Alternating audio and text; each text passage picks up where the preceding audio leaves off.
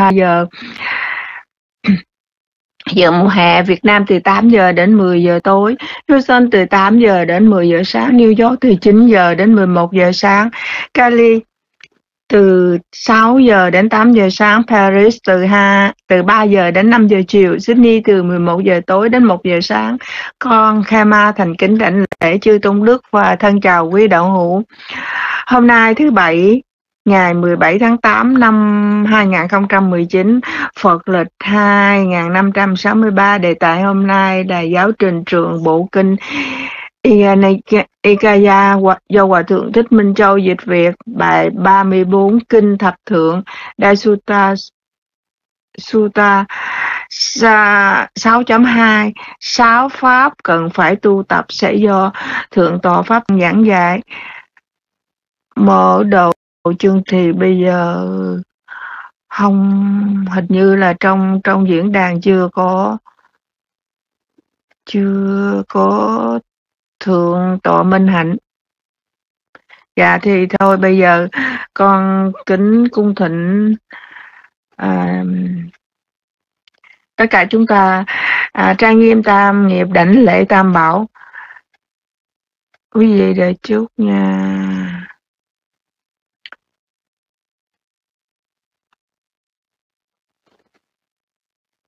Chứ không có chuẩn bị.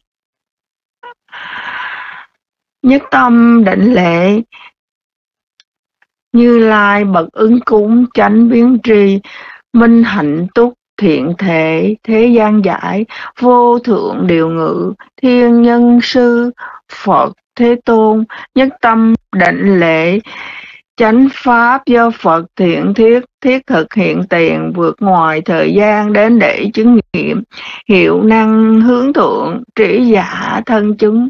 Nhất tâm định lễ chư tăng đệ tử thế tôn, bậc diệu hạnh, trực hạnh như lý hạnh.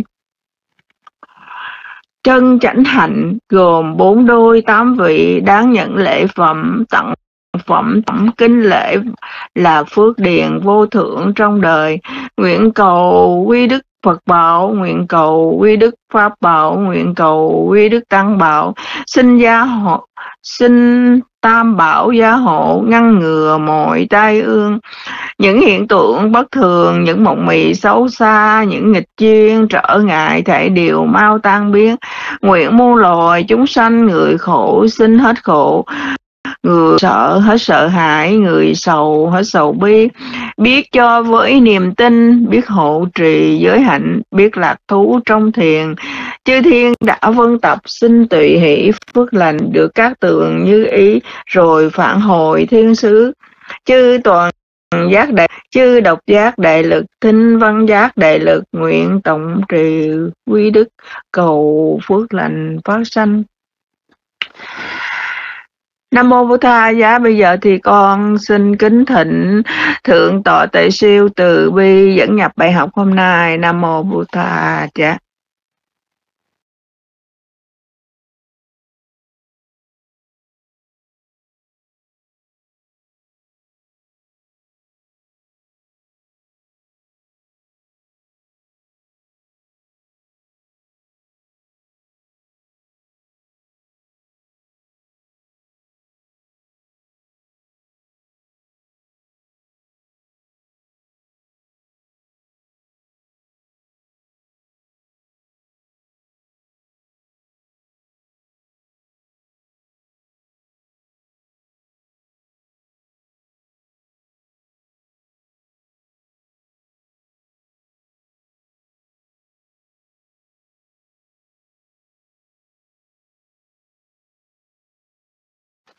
Nam mô Bố Tha Giá. Chúng con kính cung thỉnh thượng tọa tuệ siêu từ bi dẫn nhập bài học hôm nay. Nam mô Bố Tha Giá.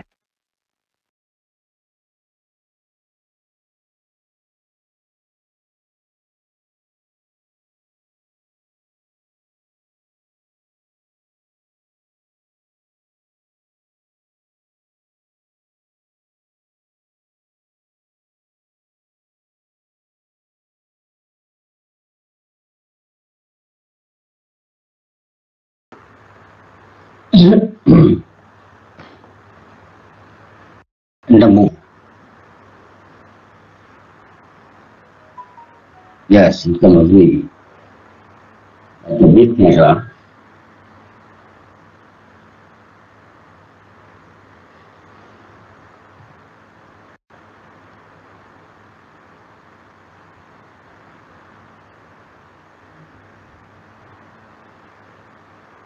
hôm nay chúng ta tiếp tục học uh,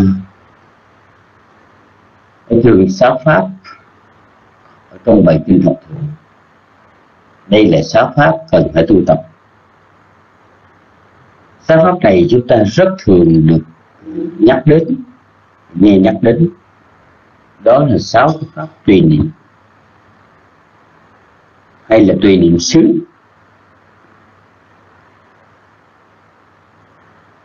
Anusati Thanani như là niệm Phật, niệm Pháp, niệm Tăng, niệm Lý, niệm Giới, niệm Chiên của Phật.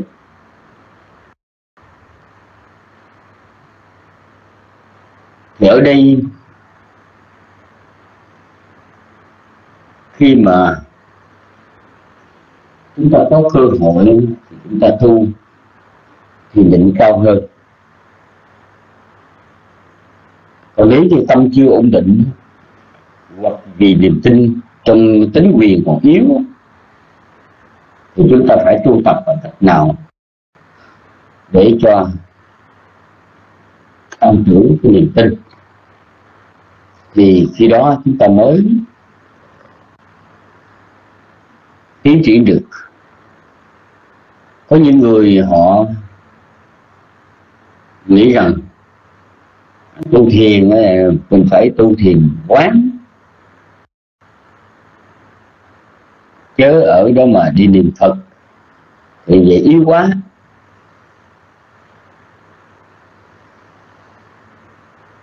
Và họ chưa hiểu được. Điều này được đức thế tôn là giảng ở trong kinh tăng truyền kinh cũng có nhắc đến. Nếu như mà cái pháp, sáu cái pháp tùy niệm này mà không có lợi thiết thực, không có hỗ trợ cho tâm của vị hành giả thì Đức Phật ngài đã không có thuyết. Chúng ta phủ nhận thì như vậy có chừng chúng ta bỏ ra cái thái độ của chúng ta.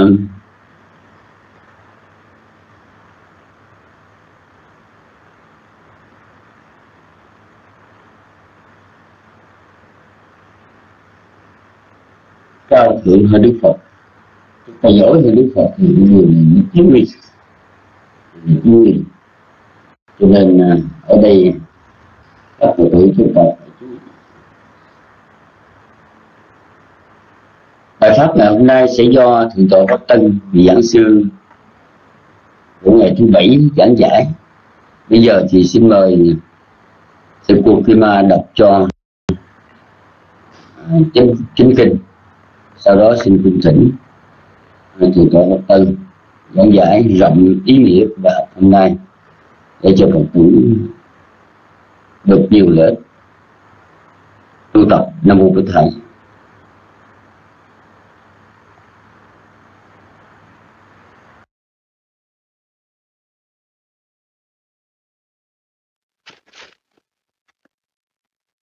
Nam mô Bố Tha giá chúng con kính tri ân thượng tọa Tệ Siêu đã dẫn nhập bài học hôm nay. Và bây giờ thì à, con xin à, đọc chánh kinh bài học hôm nay.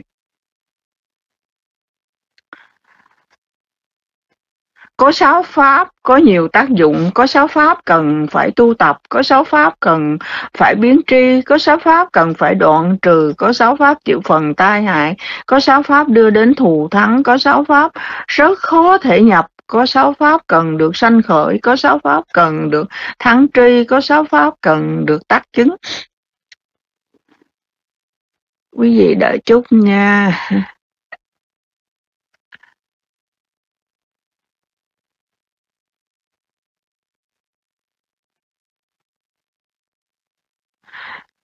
Thế nào là sáu pháp cần phải tu tập? Sáu tùy niệm xứ, phật tùy niệm, phật, pháp tùy niệm, tăng tùy niệm, giới tùy niệm, thí niệm, thiên tùy niệm. Đó là sáu pháp cần phải tu tập.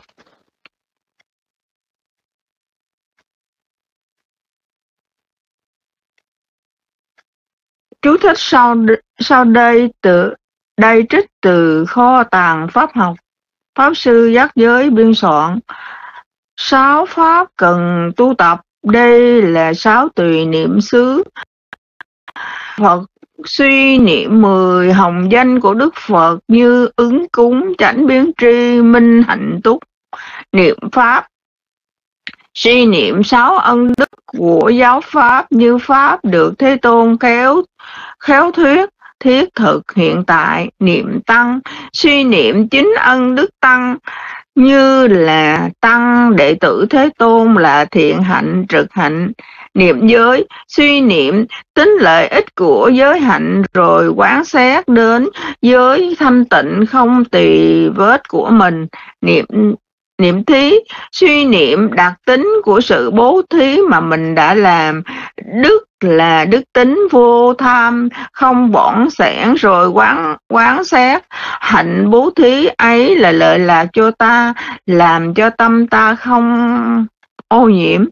Niệm thiên suy niệm những đức tính tạo sanh, làm thân chư thiên như tính giới thí văn tội, rồi quán xét những đặc tính đó.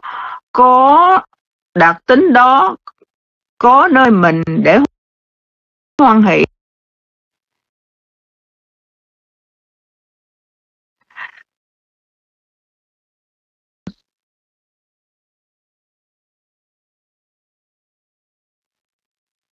Đây đã kính này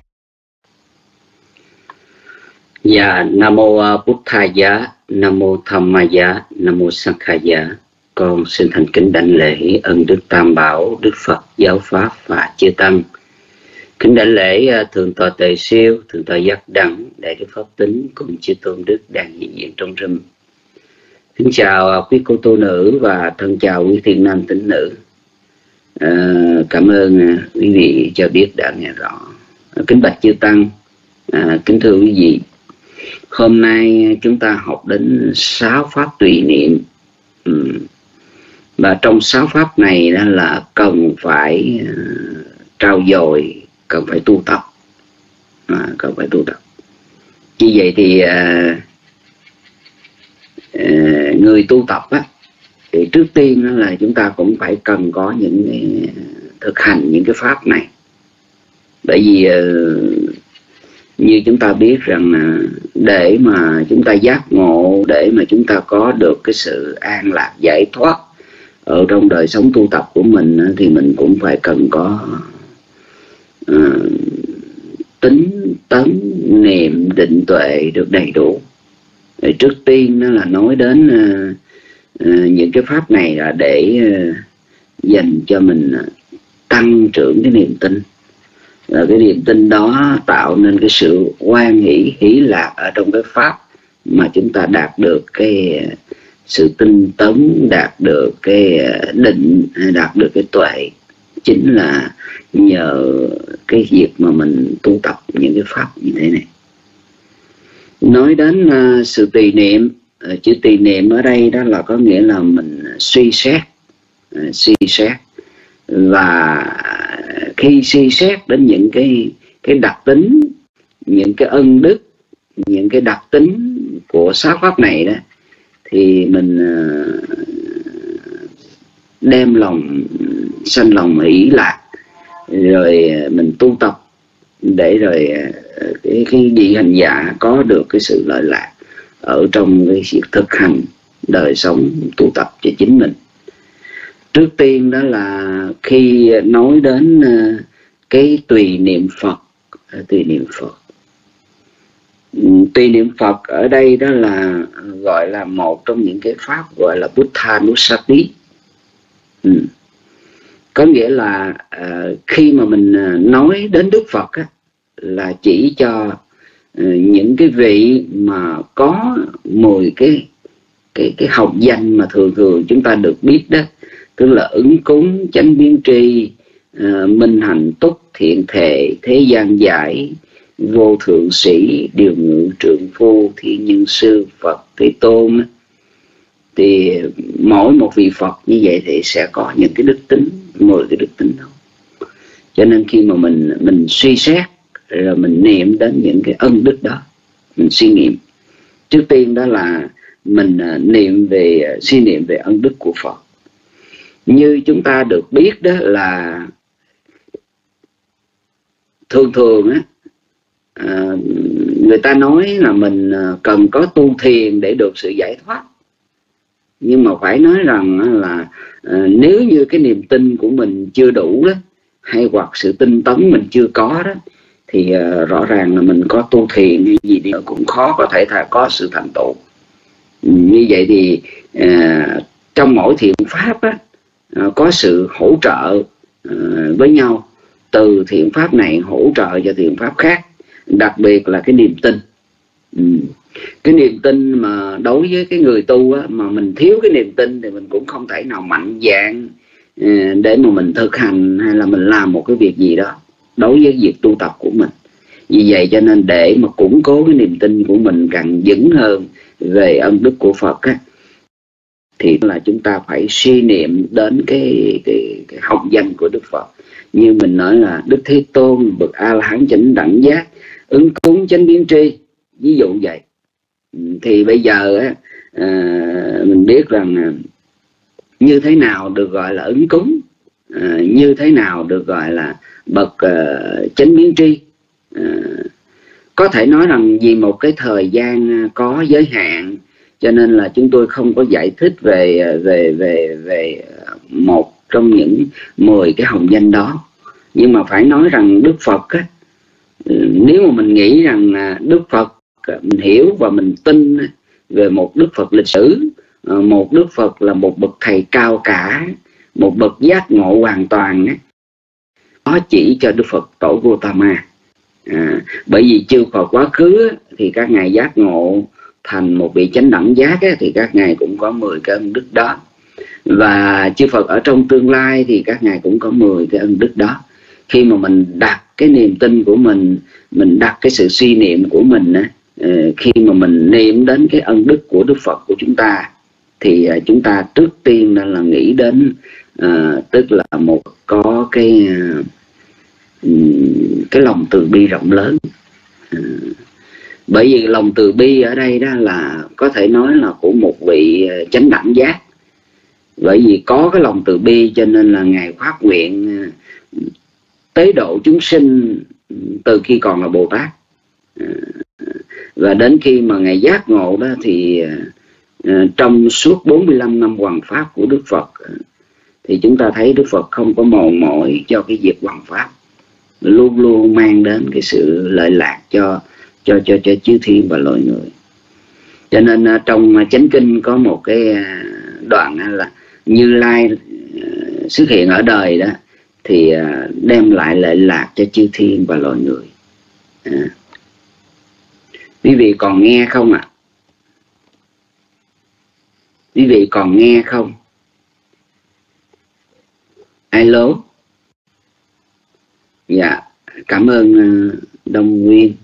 Đồng nguyên hay là đông nguyên vậy?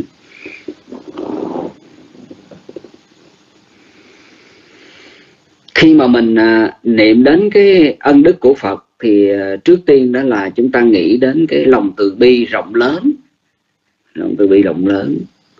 Cho nên là dù gì đi nữa thì Đức Phật luôn luôn cũng mong mang lại cái, đem cái chánh pháp này cái giáo pháp tự ngài à, thực nghiệm tự ngài chứng chứng nghiệm à, và ngài giác ngộ về những cái điều mà ngài đã giác ngộ rồi ngài truyền dạy lại cho những cái hàng đệ tử của ngài à, và trong đó có có thể nói rằng tứ chúng tỳ kheo tỳ kheo ni cận sự nam hoặc là cận sự nữ đều được thấm nhuần ở nơi cái lời dạy của ngài ừ. vậy ngài, ngài thấy rằng nó là chỉ có giáo pháp á, mới thật sự là mang lại cái nguồn an lạc cho họ một cách ừ, lâu dài và bền chắc được. À, không có cái gì. Mà ở đây đó nếu như một người mà nghe được cái lời dạy của Đức Phật đó mà mình à, thực hành á, thì mình sẽ có được cái sự lợi lạc ờ, về ân đức của Phật đó thì à, ừ, trước tiên đó là mình nói đến cái cái cái lòng từ của Đức Phật chúng ta thấy rằng cuộc đời hoàng pháp của Đức Phật đó, thì ờ, không ít cái chuyện, cái việc mà có những cái người mà đối nghịch ờ, chống đối. Chẳng hạn như là chúng ta thấy là một số người ngoại đạo ờ, số du sĩ ngoại đạo, rồi chẳng hạn như đề bà đạt đa có nhiều lần hãm hại đức phật rồi là những sĩ ngoại đạo nói đức phật bằng những cái lời nói không hay. Nhưng mà đức phật đi tới đâu thì ngài luôn luôn cũng có cái cái lòng tự. Và ngài nghĩ là một việc đó đó là luôn luôn mang đến chính cái giáo pháp của ngài à, đã đem lại cái lợi lạc cho chư thiên à, và cho loài người. Khi mà ngài giác ngộ chúng ta thấy ra lần là ngài nói pháp á, thì bất cứ một cái hội chúng nào phần lớn thì ờ, chỉ có những vị thánh à, đức phật à, có cái thiên nhãn để biết được cái sự có mặt của những vị thiên. Có những vị thiên. Và các vị thiên ở cõi trời mà ờ, có mặt đó, nghe mà có thể thấm nhuần được cái lời dạy của ngài, thì những vị thiên đó cũng có thể có được cái sự lợi lạc. Cho nên là như lai ra rời á lại cái lợi ích cho chư thiên và loài người là như vậy. Hay là ngài có một cái hồng danh là thầy của chư thiên và nhân loại à, Satade Matmusanang ừ. à, thiên nhân sư. À, thiên nhân sư là thầy của chư thiên và nhân loại. Ngài xứng danh như là một cái vị mà giáo chủ một cái vị mà mở đạo một cái vị mà khai sáng cho một cái nguồn tri giác cho chư thiên và loài người bởi vì trong suốt một cái thời gian dài đó ngoại trừ chư Phật quá khứ trong một thời gian dài thì không có ai ngộ về giáo lý uh, tứ đế hay là giáo lý duyên khởi. Chỉ có ngài uh, giác ngộ về những điều đó. Và khi mà ngài đem truyền dạy lại cái giáo pháp của ngài đó, thì cũng tùy theo từng người à, giống như là một lời à, pháp vũ à, từ nơi lời dạy của đức phật như là một cái đám mưa như là một cái đám mưa rơi xuống mặt đất, thì cây cối, hoa, lá, cỏ ờ, cũng đều được hưởng được cái lượng nước đó. Cây lớn thì hưởng được cái lượng nước lớn nhiều, còn cây nhỏ thì hưởng được cái lượng nước nhỏ. Cho nên đức phật luôn luôn có lòng từ bi, dù những cái người chống đối đức phật như đề bà đạt đa hoặc là một số người ngoại đạo khác đó có nhiều lần dù ừ, không đức phật hoặc là ừ, nhiều nhiều lần hãm hại đức phật à, nhưng mà cũng không thể nào hãm hại được à. nhưng đức phật vẫn luôn luôn có lòng từ những người đó. Rồi cho đến những vị đệ tử của ngài à, là những vị mà được ngài xác nhận người đó vị đó là con của như lai đó thì đã bước chân vào dòng thánh đó, để trở thành một bậc thánh giả trong cuộc đời này tức là bậc sơ quả nhị quả tam quả tứ quả. À, thì khi mà mình à, những cái vị đó, đó là đức phật này cũng có cái lòng từ cũng mong cho tất cả chúng sanh thoát khỏi cái khổ. Bởi vì ngài, ngài thấy rằng là luân hồi là khổ. À.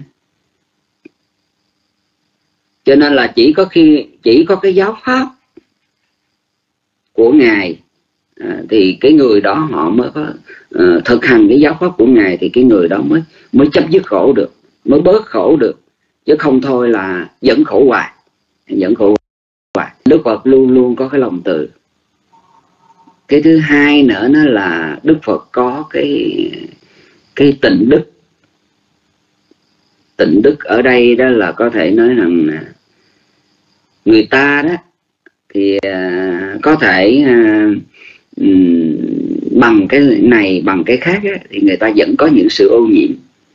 À, các vị phạm thiên á, mặc dù chứng thiền như vậy tạm thời phiền não không có sanh khởi nhưng mà các vị phạm thiên vẫn có những cái phiền não lậu hoặc. Ừ. phiền não lậu hoặc. Mà đối với đức phật á, thì dù ở nơi đông người ừ, cái chốn phồn hoa đô hội ừ, thì ngài cũng là có cái sự thanh tịnh thanh tịnh không có một chút gì đó bợn nhơ. Rồi dù cái nơi mà thì ngài cũng cũng là thanh tịnh. Chứ không phải như một số người à, có một số người à, vì cái này hoặc là vì cái mưu lợi này hoặc gì cái danh vọng kia đó thì giả như giả như là có người uh, tung hô hay là có người uh, che đậy những cái hành vi xấu thì đối với đức phật ấy, thì ngài không có vậy bởi vì ngài đã dứt sạch những cái phiền não tham sân si à, tất cả những cái cấu quế của phiền não nó không còn. Bởi vì phiền não nó là cái chất liệu tạo nên cái đời sống luân hồi khổ đau này. À, đối với đức phật thì ngài đã hoàn toàn dứt sạch những cái cấu quế đó. Tham sân si không còn. À, cho nên là chúng ta thấy rằng trong kinh có mô tả rằng là đề bà à, xin lỗi tức là là là, là ma vương là cái người mà luôn luôn đi tìm cái lỗi của đức phật. À, trong suốt một thời gian dài từ khi ngài giác ngộ với cội cây bồ đề cho đến khi mà ngài niết bàn thì ma vương không tìm ra một cái lỗi nào. Bởi vì một cái người mà đã dứt sạch rồi phiền não rồi thì làm sao tìm có ra được? À, tức là cái cái cái cái cái tâm thanh tịnh của một bậc đại giác như vậy đó. Một bậc đại giác như vậy đó. Thì phải nói rằng trên đời trên trời này à, trên thế gian này là không có không có một người à, thứ hai. Bởi vì một vị chánh đẳng chánh giác á, thì quý vị biết rằng là xuất hiện chỉ với một cái thời điểm nào đó thôi xuất hiện trong trong kinh mô tả rằng là quả địa cầu của chúng ta là có khoảng năm vị Phật ra đời mà đã ra đời hết bốn vị Phật rồi còn một vị Phật tương lai. Nhưng mà Đức Phật Sakyamuni hay Đức Phật Gotama của chúng ta à, là một vị mà là một vị Phật thứ tư ở trong cái quả địa cầu này. Cho nên là từ trước tới sau từ xưa tới nay đó thì ngài đã giác ngộ hoàn toàn rồi cho nên uh, gọi là uh, có những cái điều mà đức phật ngài không sợ rằng là thế gian chê trách ngài là ngài là chưa đoạn phiền não đâu. Uh, thấy không? Uh, không. Rồi pháp mà ngài tuyên bố ở đó nó là pháp hướng hay là pháp hướng hạ pháp trước ngại đó thì không ai nói cái điều đó nó khác hơn được. À, khác được. Ngài nói chướng ngại thì pháp đó thật sự là chướng ngại pháp đó hướng thượng đưa đến uh, thanh lương giải thoát đó. Thì điều đó thật sự như vậy không ai nói khác hơn. Ừ. Ừ, và ngài cũng không sợ rằng là à, thế gian này là chê trách ngài chưa đoạn tận phiền não đâu. Ừ. Cho nên cái lòng thanh tịnh chứ cái tâm thanh tịnh của đức phật à, là như tấm gương trong sáng.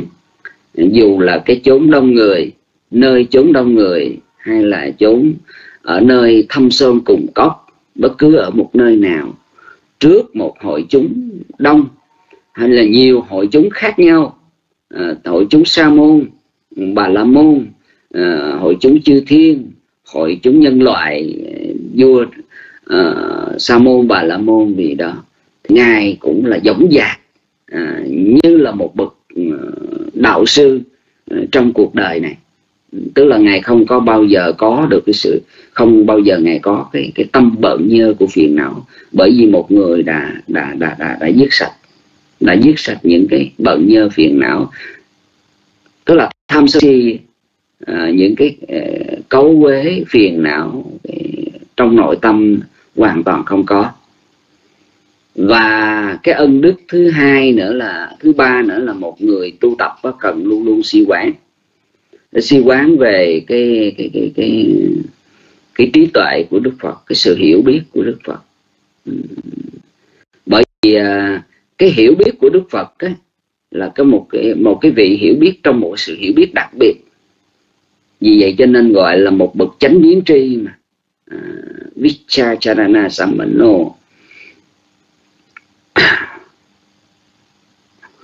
cho nên là à, có thể nói là một vị mà à, hiểu và thông suốt tất cả cả cái thế giới này về cái sự vận hành của cái thế giới này. Vận hành của cái thế giới này là chúng sinh là do cái nghiệp hiện hữu ở cảnh giới này và cảnh giới kia. À, nghiệp nào để tạo nên một cái cảnh giới này hoặc cảnh giới kia. À, rồi cái sự uh, đoạn tận phiền não như thế nào là một cái đoạn tận uh, hoàn toàn dứt sạch được những cái phiền não nữa. Như vậy thì ở đây đó cái cái trí tuệ của đức phật đó, ờ, chỉ có cái việc mà ngài vận dụng cái trí tuệ để ngài tuyên thuyết cái giáo pháp này. Cũng như là trên cái thế giới này đó có nhiều cái chủ trương nhiều cái học thuyết để đưa ra à, đưa ra để nhằm ờ, chối bỏ uh, lời dạy của Đức Phật hay nhằm để mà uh, chống đối lại hay là nhằm để làm lu mờ cái lời dạy của Đức Phật. Nhưng mà không thể nào. Điều đó đó chúng ta thấy rằng nè khi mà ngài tuyên bố cái giáo pháp này đó thì chúng ta thấy trong cuộc đời đó thì Đức Phật đó, thì cũng hoặc là chư thánh đệ tử của Đức Phật cũng gặp rất là nhiều cái chủ thuyết nhiều cái pháp môn rồi nhiều cái việc mà mà mà mà mà, mà à, lý thuyết khác nhau nhằm để à, làm lu mờ cái lời dạy của Đức Phật. Nhưng mà sự thật ra đó thì điều đó không ai làm được. Đối với Đức Phật cái trí tuệ của Đức Phật thì ngài mới hiện à, thấy rõ được cái sự vận hành của thế gian này. Thế gian tức là mình chỉ cho cõi dục cõi sắc và cõi vô sắc vì sao chúng sanh hiện hữu ở trong mọi cảnh giới đó? Như thế nào là một pháp để thành tựu để vượt ra khỏi sự ràng buộc của cấu quế phiền não để không còn tái sanh trong sinh tử luân hồi nữa? Thế gian á, có nghĩa là à, cái gì là sự vận hành của năm quẩn sắc thọ tưởng ảnh tức này sở dĩ như vậy. Như thế nào mới có sự hiện hữu? Và mọi cái hoạt động của sắc thọ tưởng hành thức này là như thế nào? Đức Phật là một vị chánh biến tri đủ rõ được nhìn rõ với vậy đó thì uh, chúng ta thấy rằng uh, cái trí tuệ của một ai đó thì nó có cái giới hạn. Nhưng mà cái trí tuệ của một Đức Phật chánh đẳng chánh giác á, thì có lẽ là thông suốt tam giới cả toàn bộ thế giới này à, thế giới này. Như vậy thì ở đây Đức Phật có được một cái cái trí đức khi mà mình mình mình niệm về những cái ân đức đó, đó là mình mình khởi cái lòng tin của mình đối với một vị Phật hoàn toàn giác ngộ hoàn toàn giác ngộ. Và khi đó cái cái cái nỗi lòng của mình cái lòng của mình mới cảm nghiệm được những cái ân đức đặc biệt của Đức Phật như vậy. Mình thấy là quá khứ không thể có mà tương lai đó uh, quá khứ thật là xa đó thì uh, sư ngoại trừ chưa hoặc quá khứ thì không có ai mà biết được điều này. Mà đức phật á, là ngài là một bậc giác ngộ. Và trong tương lai đó thì những ai đi cái này nè uh, giác ngộ được những điều này đó thì phải nói rằng đối với một vị chánh đẳng chánh giác đã truyền dạy lại như vậy. Cho nên là mình khi niệm đến những cái ân đức của phật à, niệm về ân đức của phật thì thật sự là mình cảm nghiệm về cái những cái ân đức. Và mình đặt mình vào ở trong cái cái cái cái lòng quan hỷ đó cái sự quan nghĩ của nội lòng của mình. Từ đó mình khởi cái niềm tin của mình. Mong sao cái niềm tin của mình vững chắc đối với đức phật. Bền vững đối với đức phật. Và mong sao với cái sự tu tập của mình nó cũng sẽ là uh, cái dịp mà mà, mà mà mà mình trải nghiệm được với những cái gì mà đức phật đã giác ngộ. Đó là cái điệp mà chúng ta cần phải niệm. Cái thứ hai nữa là niệm về giáo pháp Thammanusati ở đây đó là mình nhớ tưởng, nghĩ tưởng đến những cái ân đức suy xét, đến những cái ân đức của giáo pháp. Giáo pháp ở đây là gì? Giáo pháp tức là lời dạy của đức phật. Trong đó có cái sự thực hiện và bao gồm cả lời dạy à, thực hiện. Bởi vì kinh điển mà lời dạy của đức phật chúng ta gặp ở trong chánh tạng hay là trong tam tạng Bali thế thì rõ ràng là chúng ta thấy rằng những lời dạy hết sức là nguyên thủy hết sức là nguyên thủy là ở cái lời dạy mang tính cội nguồn à, bằng với những sự thực nghiệm của chính ngài.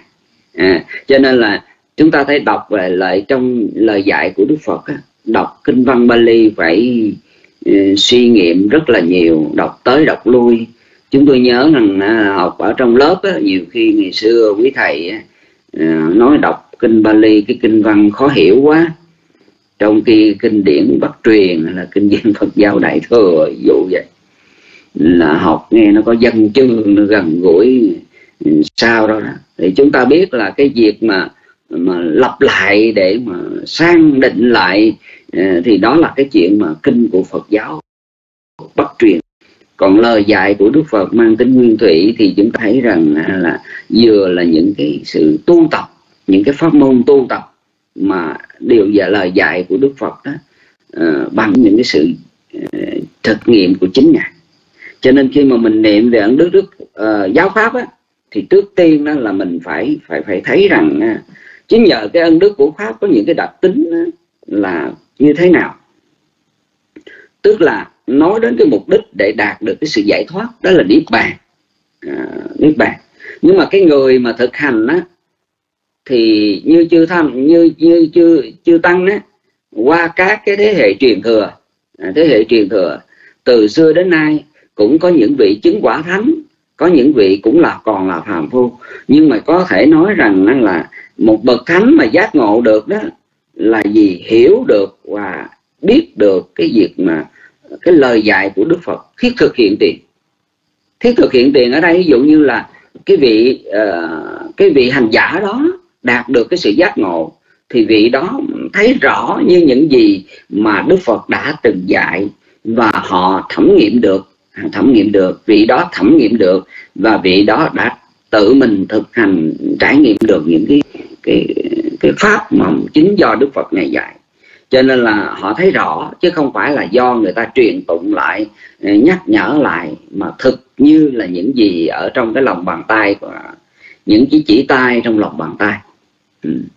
cho nên kinh điển của Phật giáo nguyên thủy đó thì chúng ta thấy nó không có mang tính uh, giống như là là là là là, là, là mờ. Uh, không phải là mờ ảo. Uh, không phải là uh, những cái uh, mang tính mà mình nghe nói là uh, linh thiêng. Uh, mà ở đây đó là toàn là những cái pháp môn tu uh, thực chứng những cái gì pháp chướng ngại đức phật dạy những cái pháp nào đưa đến uh, an lạc ở nội tâm uh, tiến hóa uh, được ở nội tâm uh, hoặc là hướng thượng nội tâm giác ngộ được ở nội tâm thì đức phật cũng dạy cho những điều đó.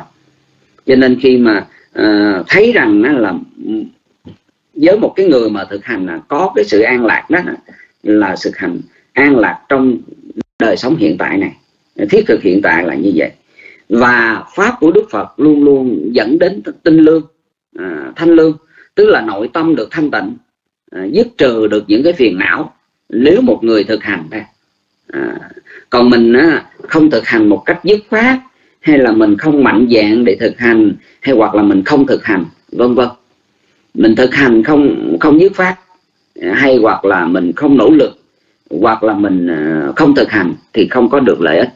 Còn mà thực hành mà mang cái tính không dứt khoát hay, hay là không có nỗ lực đó thì nó cũng chày chưa nó cũng chậm rãi nó cũng không thể nào mà đạt được cái sự an lạc một cách dễ dàng mau lẹ được. Mà ở đây với một cái người mà tu tập á, thì họ những vị mà hành giả mà chứng ngộ được đó thì cái trí của vị đó, đó tự hiểu rằng à, điều này mình đã tự thật sự là giác ngộ. Giống như là chúng ta thấy rằng bậc thánh á, bậc đó giác ngộ được đó à, thì thấy cái pháp của mình đã thực hành. À, mà cái pháp của đức phật là à, thiết thực hiện tiền à, đến để mà thấy. À, chứ không phải là tin không à, không phải là tin không. Cho nên là trong cái việc mà à, một cái vị mà à, có được cái niềm tin à, có được cái sự nỗ lực rồi à, có được cái chánh niệm à, có được cái à, định tâm ở trong lòng và có được cái tuệ nữa, thì rõ ràng là cái ngũ quyền của cái vị hành giả đó, nó được cân bằng, được đầy đủ. Và do đó thì cái vị hành giả đó có thể giác ngộ, tu tập, giác ngộ được. Như vậy thì cái việc mà niệm về ân đức của pháp đó là thiết thực hiện tiền. Đến để người đó tự trực nghiệm được bằng với cái trí tuệ của chính mình. À, chứ không phải là do nghe không. À, không phải vì tin đâu. À, mà thật sự ra khi mà mình nghe cái lời dạy Đức Phật qua pháp học rồi qua kinh điển tam tạng kinh điển chính thống rồi mình suy nghiệm và mình tự mình thực hành những cái lời dạy đó qua pháp hành để rồi mình tự trải nghiệm mình giác ngộ được. À, thì cái giáo pháp của Đức Phật có công năng diệu dụng như vậy. Và cái người thực hành thì người nào thực hành đến đâu thì có cái sự thiết thực hiện tiền ở trong ừ, an lạc thì thiết thực hiện tiền ở trong đời sống hiện tại của họ. Chứ không phải cần đợi tới cơ kiếp sau. À. giống như là mình tu tập thiền à, thiền cũng vậy. Cái nội tâm mình được an lạc mặc dù là mình chưa có chứng đắc gì hết nhưng mà cái nội tâm mình an lạc trong cái phản khắc mà mình uh, Ừ, tâm mình được tĩnh lặng như vậy thì mình cũng có được cái niềm vui rồi. Rồi á do cái việc mà tâm được an lạc một cách bền vững lâu dài vậy đó thì mình có thể đắc định được hoặc là có thể mình đắc tuệ được. À, chính là nhờ cái việc mà mình nỗ lực thực hành đó. Ừ, thực hành đó. Cho nên cái vị mà à, bậc thánh á, không phải là ai phong tặng. À, mà bậc thánh là do thực hành cái giáo pháp của qua pháp học hiểu rồi qua pháp hành là tự thực nghiệm thực nghiệm về những điều đó. Cho nên người vị hành giả đó bằng thấy bằng thiết thực hiện tiền cái mục đích tối hậu nhất đó đó là mục đích mà đạt được cái chính thiêu sơ pháp. À, đó là bốn đạo bốn quả và niết bàn. Cái tùy niệm thứ ba nữa đó là tùy niệm về tăng à, tức là à, sankhanusati đây là chỉ cho cái gì gì? Niệm về ân đức của các bậc thánh. À, tăng ở đây là chỉ cho những cái tập thể bậc uh, những cái tập thể thanh tịnh. Mà ở đây là bốn đôi tám vị đi. À, chỉ cho các vị thánh đệ tử của Phật. Cho nên khi mà mình suy niệm về ân đức của tăng á, là những gì? Những cái thành quả do thực hành lời dạy của Đức Phật. Và những vị mà gọi là thánh đệ tử của Đức Phật. Cho nên trong kinh á, có khi à, nói rằng được Đức Phật xác nhận là vị đó là con của Như Lai thì ở đây hiểu rằng vị đó đã bước chân vào dòng thánh rồi. Vị đó dù là bậc thánh tu đầu ơn cũng là một cái vị mà đắc sơ quả sơ đạo đó cũng mới thấy lết bàn lần đầu tiên thôi. À, giống như cái việc mà thấy cái ánh sáng xa xa như vậy nhưng mà sự thật là mắt mình tự trực nhận thấy những điều đó à, bằng với cái trí tuệ của mình cho nên cái bậc thánh tu đầu quần hay là bậc thánh tư đà hàm cho đến bốn cái quả vị thánh hay là bốn đôi tám vị, bốn đôi tức là sơ đạo, sơ quả, nhị đạo đạo nhi quả, tam đạo, tam quả, tứ đạo, tứ quả. Còn ờ, tám vị tức là bậc sơ đạo, sơ ờ, một vị, cho đến nhị quả một vị, sơ quả một vị, hai vị, vậy đó rồi à, sơ nhị đạo một vị và à, nhị quả một vị tam đạo một vị tam quả một vị tứ đạo một vị và tứ quả một vị. Thì ở đó chỉ cho tám cái bậc thánh sơ à, thánh đạo hoặc là thánh quả. Thì cái việc mà mình niệm về ấn đức của tăng á thì mình nhìn lại mình ráng cố gắng làm sao để mà mình uh, sinh cái lòng tịnh tính của mình mình đối với chư tăng mà chỉ cho bậc thánh à, chỉ cho bậc thánh đệ tử của đức phật. Bậc mà à, giác ngộ từ cái lời dạy của đức phật à, bởi vì à, giáo pháp của đức phật an lạc. Và vị mà đã trực nhận à, tự giác ngộ đến để mà thấy à, thấy cái cái giáo pháp của Đức Phật tự giác ngộ trực nhận à, giác ngộ về lời dạy của Đức Phật. Ừ, thực hành được những cái lời dạy của Đức Phật. Tăng là như vậy. Tăng là như vậy. Cho nên là nhìn cái hình ảnh của tăng á mình thấy rằng đó là tăng là một tập thể mà gồm có phàm và thánh. Thì cái vị thánh là những vị mà đã đoạn tận phiền não. Đoạn một phần hay là đoạn toàn bộ à, những phiền não. Còn phàm á, là những vị mà đang sống thanh tịnh trong cái đời sống này. Mặc dù là chưa đoạn tận phiền não nhưng mà đang tập cho mình cái đời sống thanh tịnh bằng giới bằng định bằng tuệ. Hay là bậc thánh là bậc thánh vô lậu là thành tựu gọi là giới định và tuệ được đầy đủ viên mãn thì đó được gọi là bậc thánh à, vô lậu. Còn bậc thánh hữu lậu à, xin lỗi bậc thánh hữu học thì bậc thánh đó là những vị mà đã đoạn tận một phần à, phiền não cho nên là ở đây đó khi mà mình niệm về ân đức của ngài thì mình phải nghĩ rằng à, chính những vị ấy đã hoàn toàn thanh tịnh thực hành theo đúng theo cái lời dạy của Đức Phật. Rồi vị ấy đã hoàn toàn tự mình chứng nghiệm được những điều đó à, chứng nghiệm được những đó bằng cái cái cái tuệ giác của chính mình à, tuệ giác của chính mình chứ không phải gì do nghe hay do ờ, nói lại mà tự bị đó chứng ngộ được. Cho nên khi mà mình niệm về ấn đức của tăng á là mình thấy cái sự tâm tịnh của tăng chúng để mình mình khởi cái lòng quan hỷ. Cái tam quan hệ của mình mình bắt chước theo những cái điều mà các vị thánh đã làm à, để cố gắng để làm như vậy thì mình cũng được lợi lạc. Và đặc biệt là cái niềm tin của mình được vững chắc. À, vững chắc. Nói đến những điều này đó thì à, những người phàm phu thì có lẽ là có những cái những cái phiết điểm, những cái phiết điểm. Nhưng đối với các bậc thánh thì đặc biệt là bậc thánh vô lậu thì các vị ấy đã hoàn toàn không có những cái phiết điểm. Cho nên khi mà mình niệm về những cái ân đức của tăng á, là à, chỉ cho những cái bậc mà à, đã và đang à, đã và đang đi ở trên cái con đường giới định tuệ hay là con đường phạm hạnh này à, phạm hạnh này khi mình niệm về những cái ân đức đó thì cái tâm của mình nó quan hỷ. Nhớ đến suy tưởng đến những cái ân đức như vậy. Những bậc như vậy thì được gọi là tăng. À, niệm về ân đức đó là ân đức tăng. À, ân đức tăng. Cho nên là cái cái cái nội lòng của mình nội tâm của mình quan hỷ như vậy tạo sự hân hoan.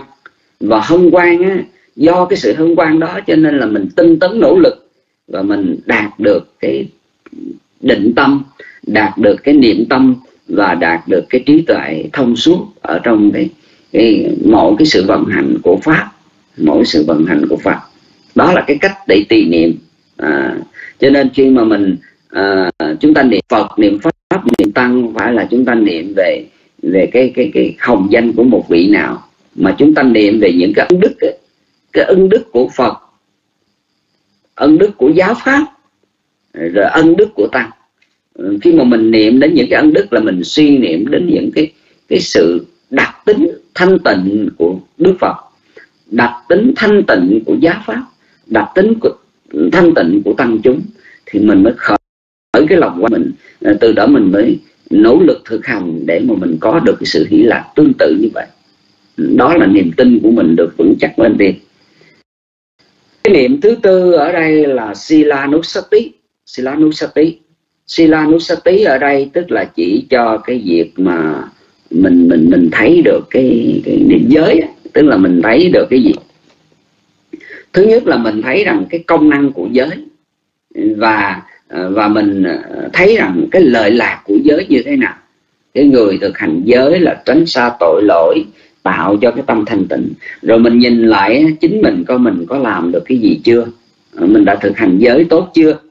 Suy xét những điều đó bởi vì bậc thánh các vị thánh là các vị mà đã đã thanh tịnh thì giới các vị ấy đã thanh tịnh. Bậc tu đầu quần à, giới hoàn toàn viên mãn đó. Thì những cái gì mà chúng ta niệm về giới ở đây là niệm đến cái tính cách lợi ích của giới hạnh. Một cái người mà có giới được thanh tịnh thì ít ra trong đời sống hiện tại họ có được sự an lạc. Dù đứng trong một cái vai trò của một cái người tu uh, xuất gia hay là một người cư sĩ hay là một người uh, cư sĩ hay là một à, một bậc uh, một cái người một bậc xuất gia hay là những bậc thánh thì cái giới thanh tịnh nó giới đó làm cho vị ấy thanh tịnh. Khi mình quát sớ đến thanh tịnh đó thì mình nhìn lại coi cái bản thân của mình nó có tốt chưa giới có tốt chứ giới có bị tỳ vết hay không giới có bị lũng rách hay không vân vân và vân vân. Có nghĩa là tỳ vết tức là lắm lem đó, nó chưa được hoàn toàn thanh tịnh à, trong sạch đó à, hoặc là lũng rách có nghĩa là những cái giới trọng hay những cái này kia đó mà mình à, mình phạm đó mình xem lại mình coi chỉnh sửa lại mình mình khoảng kỹ à, tự thân mình lại coi nhìn lại coi coi mình có tốt chưa. Thì khi mà mình chưa tốt thì mình ráng cố gắng làm sao cho tốt để giới của mình đừng có sự hối hận giới của mình đừng có sự ăn năn hay hoặc là giới của mình mang lại cái sự do cái sự không có hối hận do do không có sự ăn năn không có lỗi lầm cho nên cái tâm của mình luôn luôn có được sự an tịnh. Đó là cái người mà thành tựu coi như là mình mình mình mình mình mình có được cái sự suy xét về cái giới. À, như bậc thánh à, thì giới được thanh tịnh. À, thì mình niệm đến cái ân đức đó, nó có nghĩa là mình cũng một phần suy xét đến cái, cái giới hạnh của bậc thánh. Rồi mình nhìn lại chính mình phản phản kỹ lại uh, tự uh, phản lại chính mình nhìn lại chính mình coi xem coi coi mình có tốt chưa?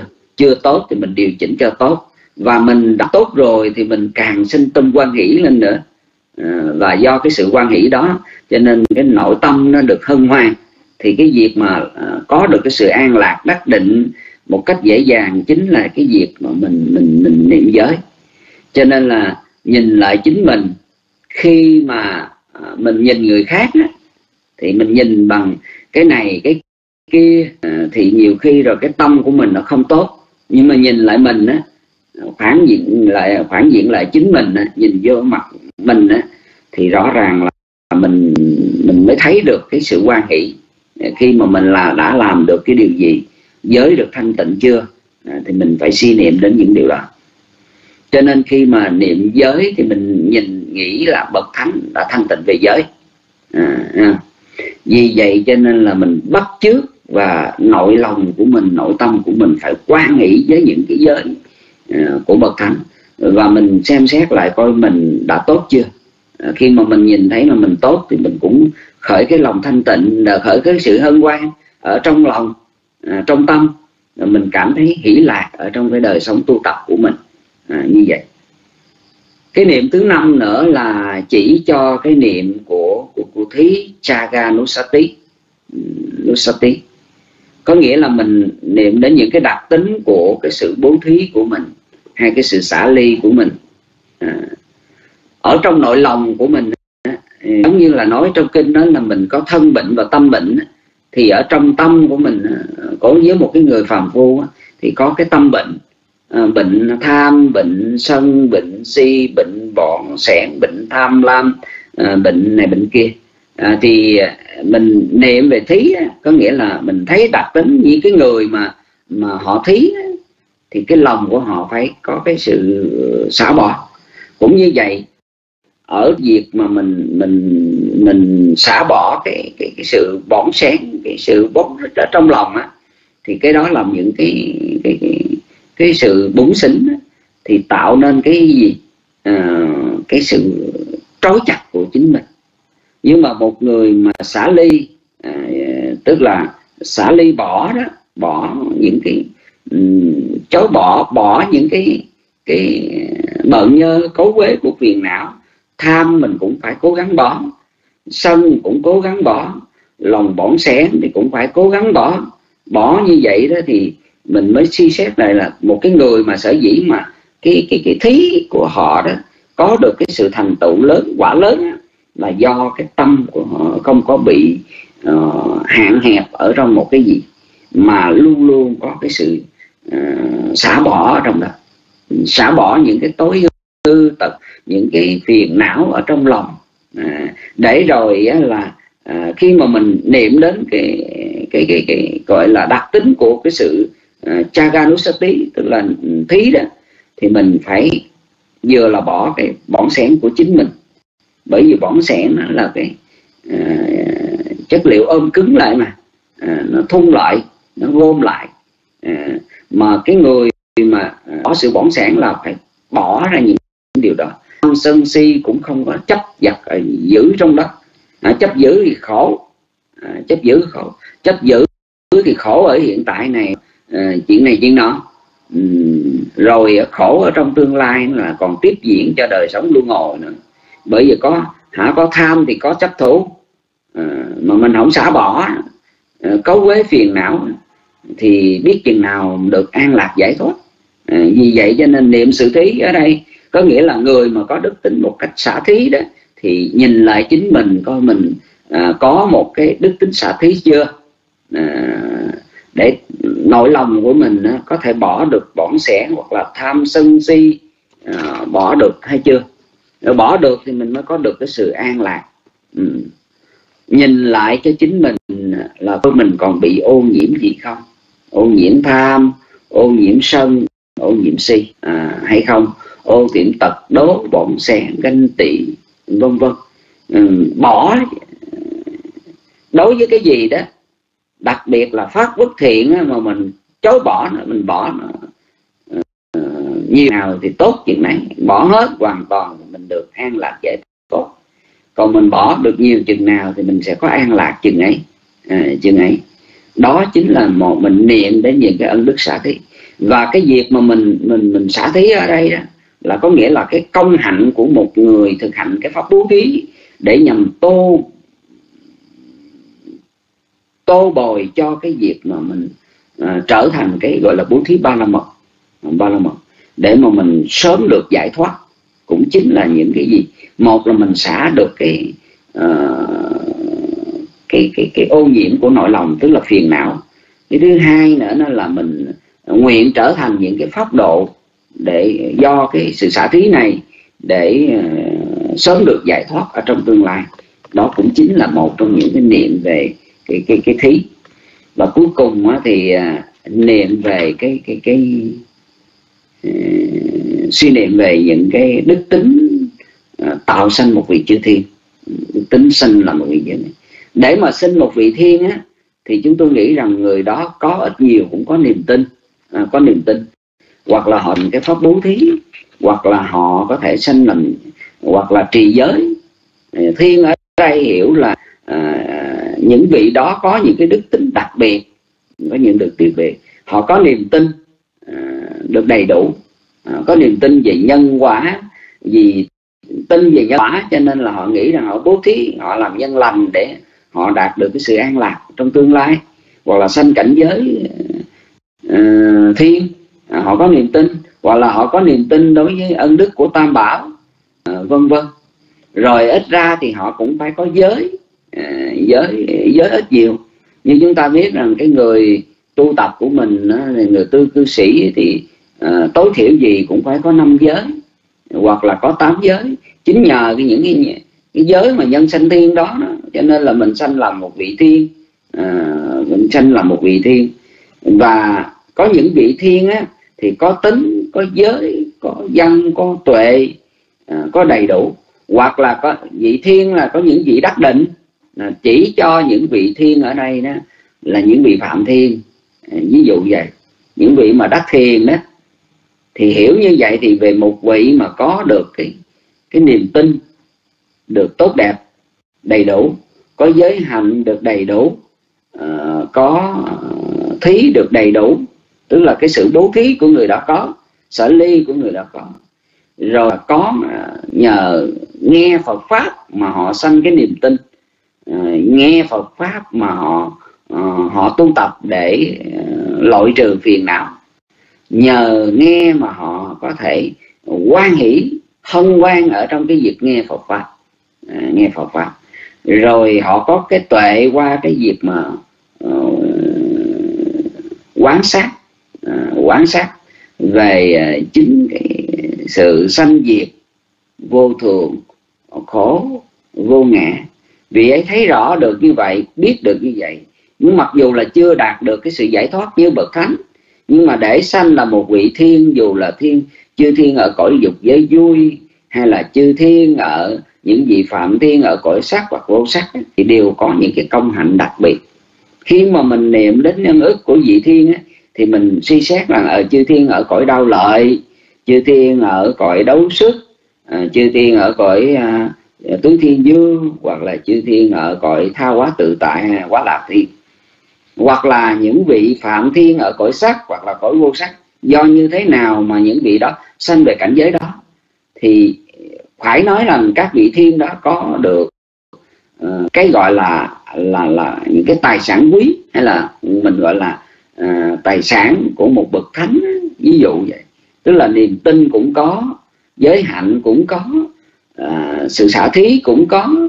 Rồi à, do nghe nhiều học rộng Phật pháp mà họ sinh tâm ỷ lạc cũng có. Rồi họ có được cái tuệ suy xét về cái sự sinh diệt đó à, qua cái giáo pháp của Đức Phật.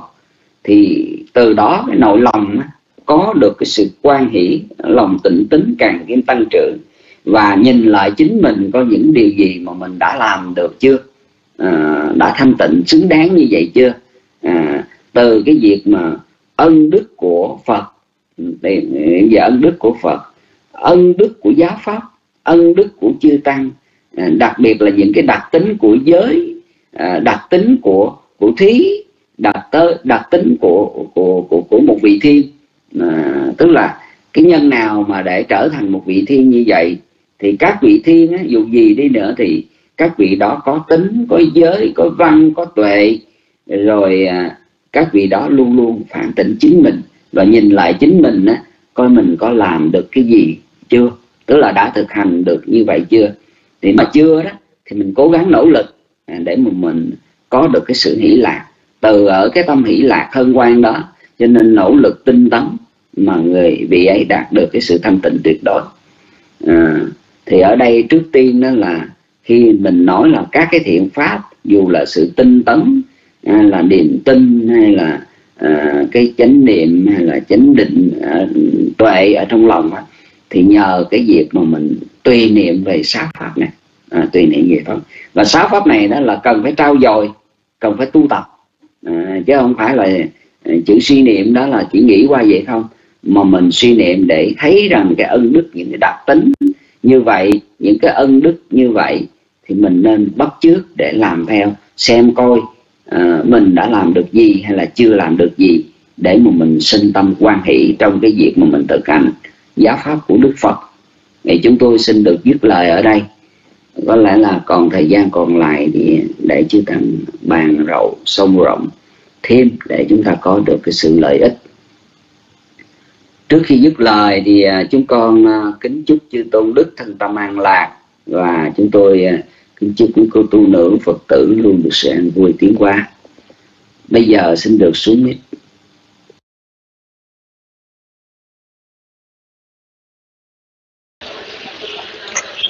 Sa thú kính trung thiền tọa pháp tinh à, mà thiền tòa tiểu siêu không biết thiền tọa có trước máy và thiền tọa có nghe được không?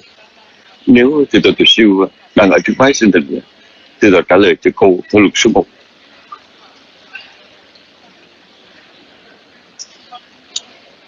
dạ. Một thiền tọa tiểu siêu chữ ờ, uh, anusati đó. À, ở đây chúng ta dịch là tuy niệm. Và đôi khi chúng ta dịch ngắn hơn là chữ niệm. Rồi trong tiếng Việt Nam của chúng ta chữ niệm được hiểu nhiều nghĩa. Ví dụ như là niệm Phật là mình lặp đi lặp lại. Lặp lại như là lục tự di đà nam mô di đà Phật lặp đi lặp lại. Hay là chúng ta nói niệm đó, như là một tâm niệm. Hay niệm đó tức là một sự ghi nhận như là chẳng hạn. Thì chỉ niệm mà trong anusati mà chúng ta dùng ở trong tiếng Phạn đó. Được hiểu chính xác là gì? Xin thưa đoàn quan nghị cho một định nghĩa.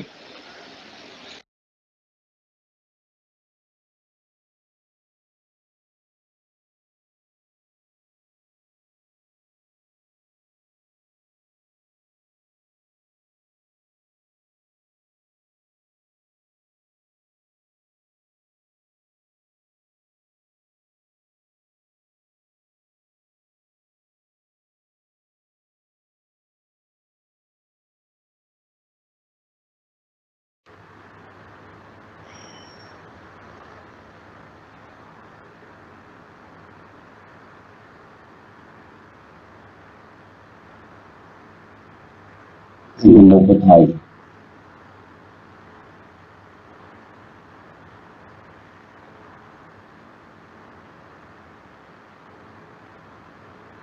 kính bạch chư tôn đức kính thưa quý phật tử. Ở trong tiếng Bali chỉ từ ngữ ăn uống, có nhiều nghĩa. Nhưng mà thường ăn uống có nghĩa là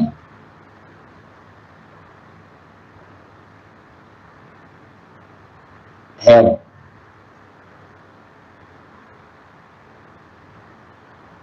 cho cái gì là tùy niệm? Nhưng mà chữ anh đúng nó còn có nghĩa như như chữ anh đức cầm mát, tức là tuần tự lớp.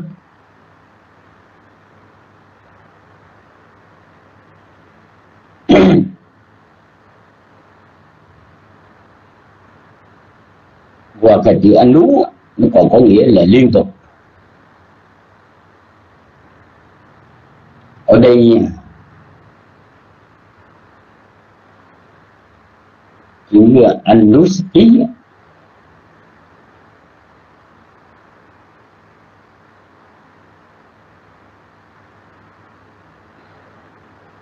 chúng ta có thể lấy cái nghĩa và suy niệm liên tục. Hay là suy niệm thường. Thường xuyên. Những cái đề tài này là những đề tài à, tu tập gắn bó trong đời sống hàng ngày. Bởi vì nó có nhiều cái sự à, lợi ích cho người vị giả vì vậy cho nên à,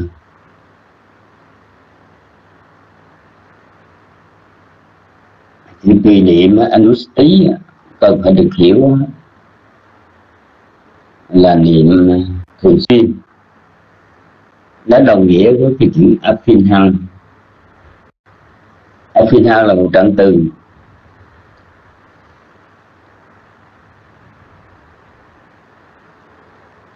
Khi mà nói chữ Aphinhang à, cái chữ á, tức là phải thường xuyên phản tỉnh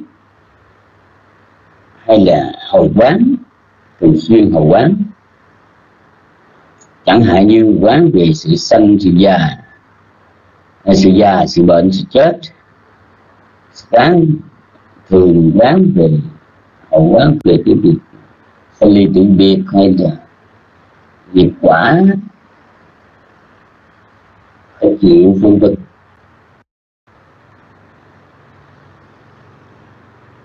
thì thay vào cái chữ, nếu mà xài chữ cái chữ cái khinh á, không có xài anh ú cái chữ cái khinh á mà xài áp phiên hăng cái chữ cái khinh á. Còn ở đây xài cái chữ anus tí là nhớ theo nhớ theo hay là nhớ thường xuyên, nhớ liên tục. Mỗi một cái nghĩa chúng ta xài được cái trong ba nghĩa của của tiếng đường ngữ đó cả. Nhưng mà nếu chúng ta xài trong cái nghĩa thường, liên tục như chữ ờ, Anupassana cũng vậy. Nếu một vị hành giả mà tu tập ờ, mà không có xài cái chữ không có, minh sát thường xuyên thì nó không có, nó không có phát sanh tuệ được. Cho nên phải minh sát thường xuyên, tức là liên tục, làm ngày này qua ngày khác, sáng, trưa, chiều, tối, lúc nào cũng minh sắc. Thì như vậy gọi Anupasana nhưng mà thường thường thì cái chữ ờ, kaya vipassana người ta chỉ xài cái nghĩa là à, thân quán, niệm xứ thôi. Còn ở đây đó thì chúng ta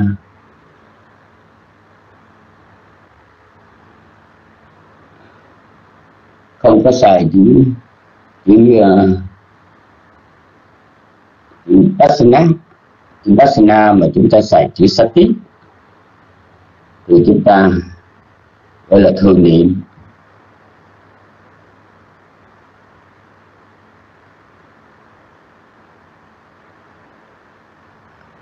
ở trong tiếng Bali mà có đôi khi đó, một cái tiếp từ ngữ ghét vào danh từ hay là căn của động từ thì nó làm cho cái nghĩa đó khác đi. Hoặc là có đôi khi cái đường ngữ nó làm cho nghĩa mạnh lên. Hoặc là có đôi khi cũng không có thêm được cái nghĩa gì, nó trở giữ bình thường gì. Đó có tiếp.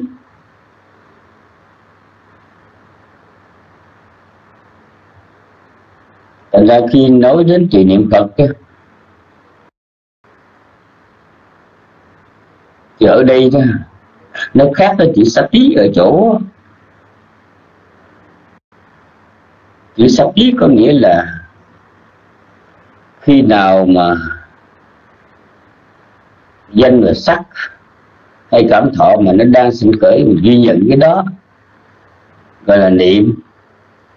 Nhớ biết nhớ biết nhớ biết cái đang sanh đang diệt thì như vậy gọi là niệm còn ở đây như là ân đức phật đức pháp đức tăng đó thì à, đức phật ngài có cái ân đức có những đức tính đặc biệt. Giáo pháp có những đức tính đặc biệt tăng chức có đức tính đặc biệt. Chúng ta dựa theo dựa theo những đức tính đặc biệt đó mà, mà nhớ nhớ đến.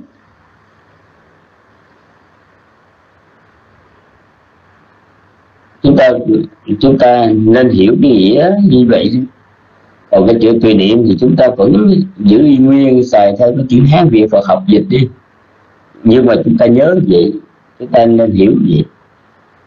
Tức là chúng ta dựa vào những cái đức tánh đặc biệt mà chúng ta niệm tưởng. Niệm tưởng tức là nhớ. Nhớ biết nhớ biết.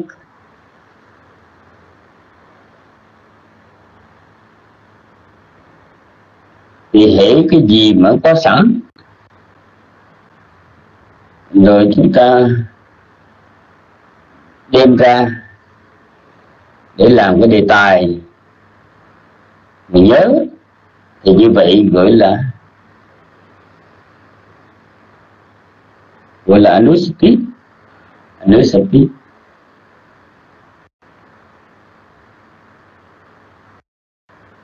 còn nếu như mà cái gì mà nó đang xảy ra, chúng ta nhận biết thì trong trường hợp đó thì gọi sa tí thôi xài chữ sa tí thôi. Chẳng hạn như là có cái câu nói thí dụ như ma tu gia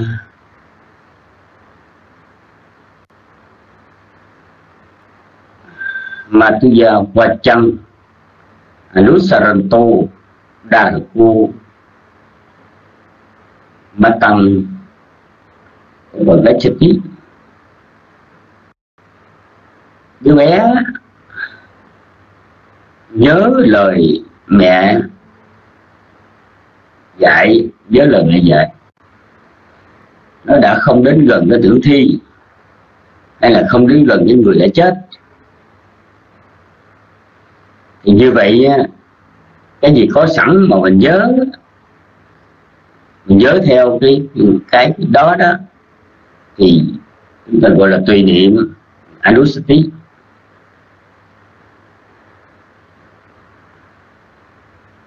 còn như ờ, chúng ta ghi nhận, hơi thở ra, hơi thở vào. Hơi thở ra dài, biết rõ. Hơi thở ra dài, hơi thở ngắn biết rõ hơi vô ngắm của mình. Thì cái đó về sati chỉ sati chứ, không có xài anusati nếu mà định nghĩa cho chính xác thì không thể một từ mà chúng ta định nghĩa chính xác được. Không thể một cách giải thích thì chúng ta chính xác được. Cần phải dẫn chứng nhiều trường hợp để chúng ta hiểu được cái từ này xài trong cái tình huống trong cái ngữ cảnh nào rồi tự chúng ta biết cái ý nghĩa của các truyền niệm Anusti một vị mà nhớ lại thì kiếp đó, à. thì cũng là Anusati Upeniwasa Nusati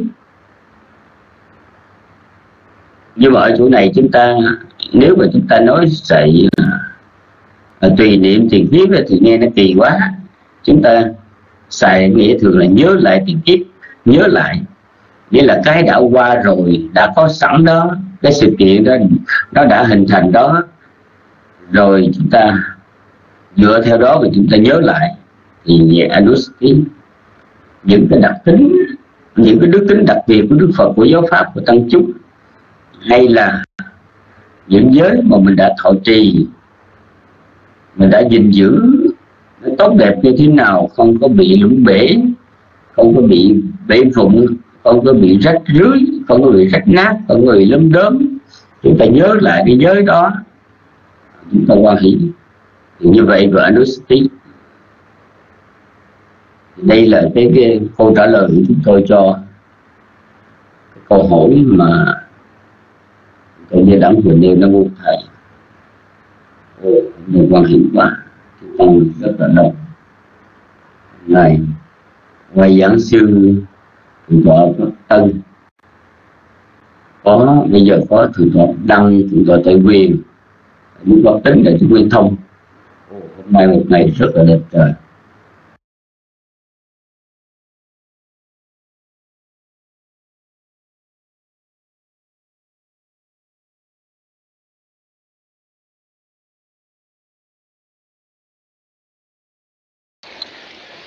Sa thú kính trường uh, ờ, thượng tọa tiểu sư? Mà thượng tọa tiểu sư mới nghe đó thì uh, giáo pháp này không có gì khó hiểu hết.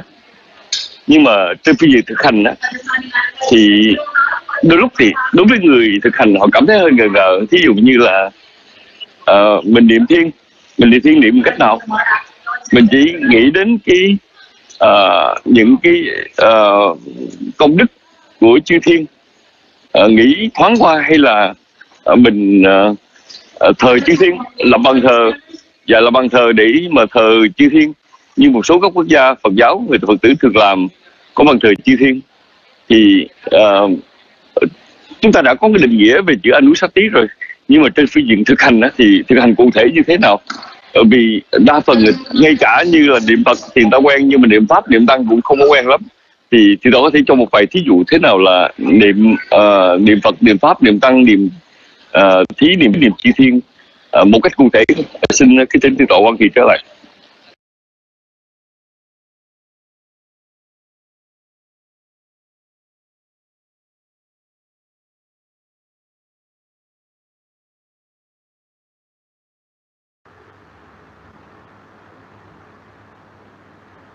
Nam mô Bích Thầy.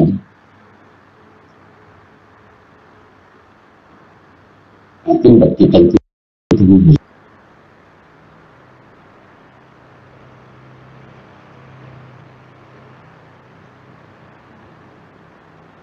về sáu cái pháp tùy niệm này thì ở trong kinh tịnh đạo giảng rất kỹ.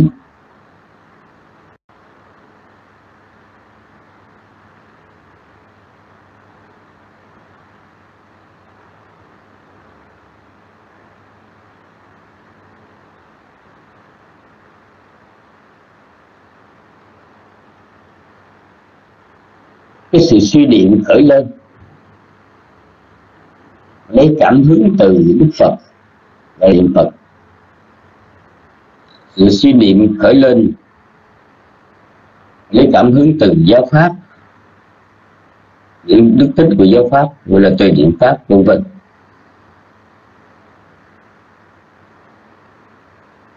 Nếu mà một người chỉ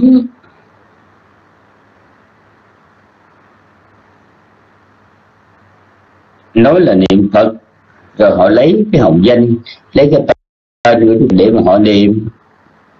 Như vậy không gọi là từ niệm phật đâu. Tức là trước hết á, người này phải biết rõ đức phật là ai thành đạo ngài có những đức tính cao quý như thế nào. Chẳng hạn chúng ta lấy là Sama Sambuddho Itiviso Phakwa Sama Sambuddho Đức Thế Tôn là một chánh biến tri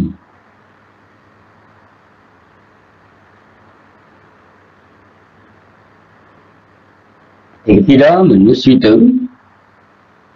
Sẽ dĩ ngài được gọi là bậc chánh biến tri. Là do tự ngài giác ngộ chứ không ai giác ngộ.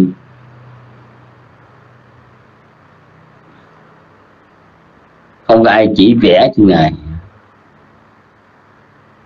ý nghĩa thứ hai là vì tự ngài đã giác ngộ cái chân chánh không có mơ hồ.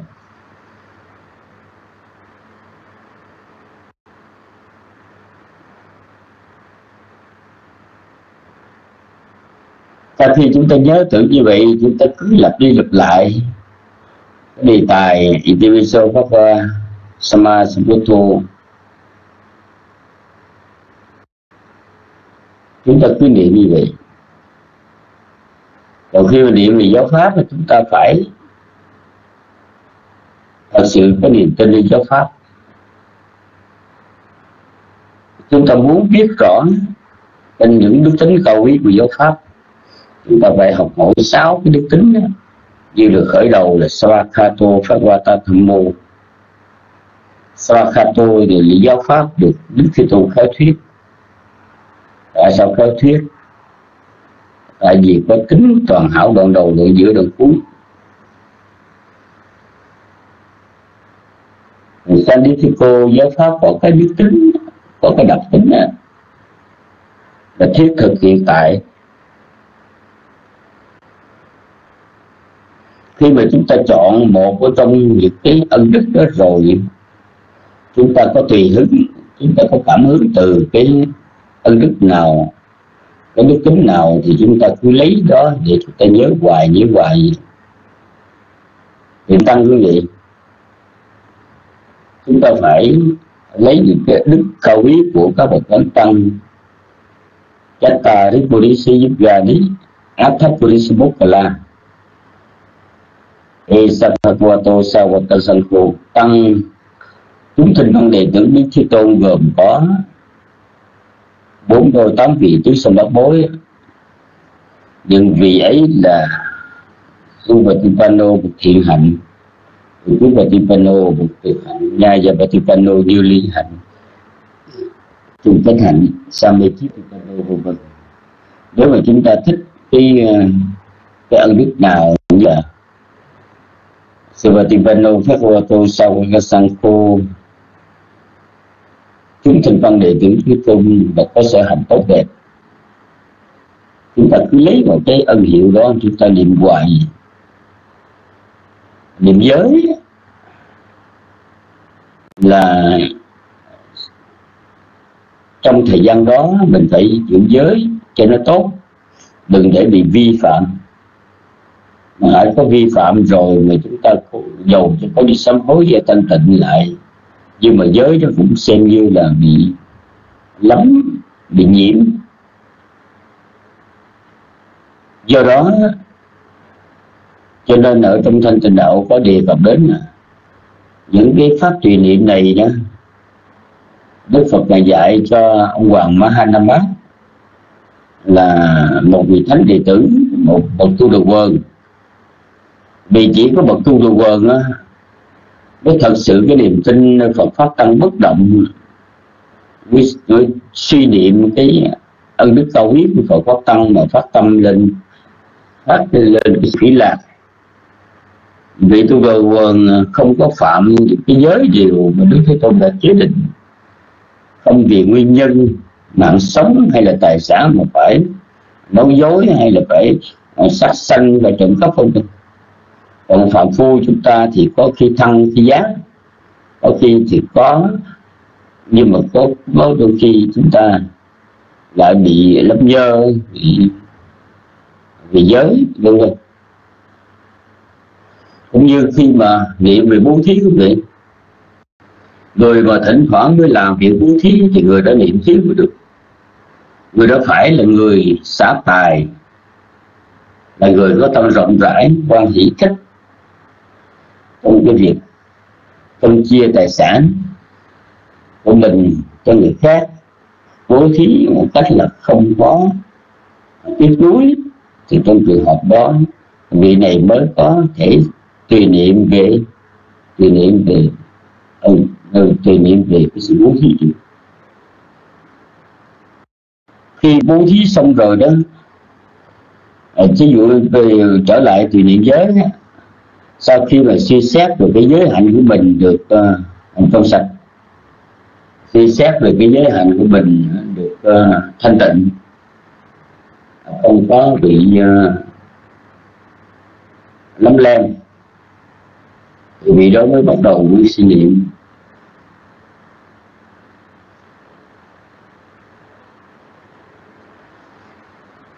Lợi ích thay chúng ta.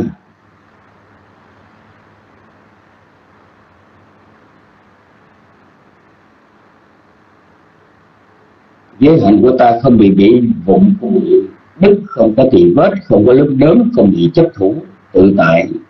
Chắc chắn giới hạnh này được bậc trí tám tháng giới hạnh này là nhân đưa đến thiền định để thay cho ta cái giới tưởng giới của mình hoàn hảo như vậy thì ngay lúc đó tâm không bị tham sân si ám ảnh thì như vậy đó, được gọi là niệm giới. Còn tùy niệm thí quý vị Chaganusti là sự niệm tưởng có cảm hứng từ cái hạng xả thí của mình. Với lại các đặc tính vô thí. Vô thí là không ô nhiễm bởi tham, bổn sẻn, tâm rộng mở phóng khoáng. Có nhiều lợi ích, có nhiều lợi lạc người mà muốn tu tập niệm thí là nên chuyên bố thí một cách tự nhiên thường cho và san sẻ. Nên có quyết định từ nay trở đi. Lúc nào có người ta sẽ cho tiếp suy nghĩ như vậy đó. Quyết định như vậy rồi thì ngay cái ngày hôm ấy trước kia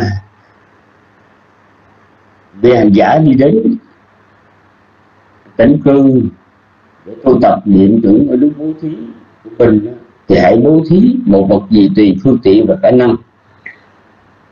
Khi mà bố thí như vậy đó nhất là bố thí cúng dường đến bậc có đức hạnh mà có thể khiến cho hành giả dễ có tâm quan hỷ san sẻ đó thì mới bắt đầu à, niệm tưởng đến hạnh bố thí của mình. Thật quan hỷ cho ta khi cuộc đời bị ô nhiễm bởi lòng ích kỷ bổn sẻn thì ta trú với tâm không ô nhiễm với sân ham ta bố thí rộng rãi với bàn tay rộng mở, thích thú trong việc từ bỏ sở hữu vui thích được san sẻ với người khác và mong có người yêu cầu. Hoặc là, thật là lợi ích thay cho ta được gặp giáo pháp, được thực hành lời dạy của Đức Phật, được làm thân người. Lại an trú với tâm không ô nhiễm bị sang tham, có tâm vui thích sang sẻ bố thí.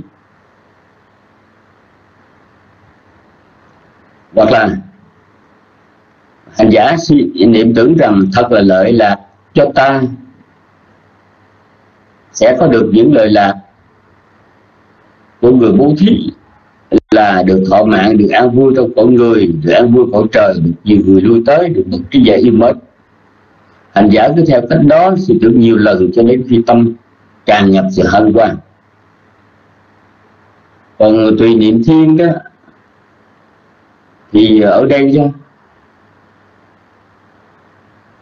thì niệm thiên là sự niệm tưởng các cảm hứng từ công hạnh của các vị trời sánh với công hạnh của mình.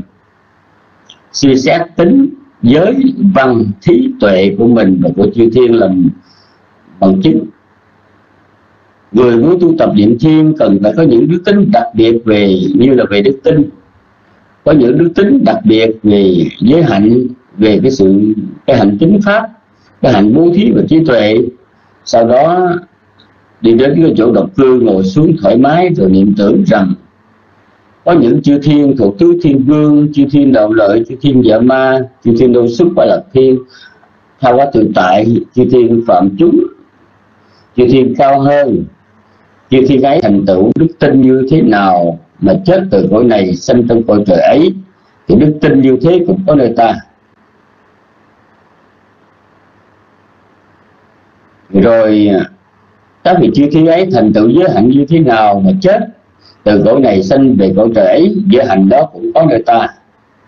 Các vị chư thiên ấy nghe pháp như thế nào mà được chết từ cõi này được sanh trong cõi trời ấy, thì sự nghe pháp như thế cũng có người chư thiên ấy thành tựu xả thí như thế nào mà chết từ cõi này sinh trong cõi trời ấy, sự xả thí đó cũng có người ta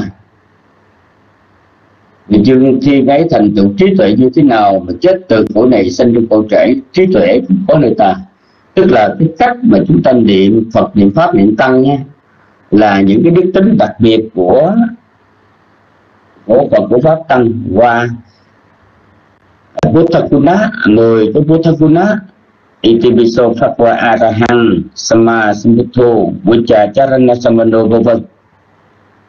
Lấy đó mà niệm niệm tử hoặc là Swakhato Phakwa Thammo Sanditiko Kaliko vân vân.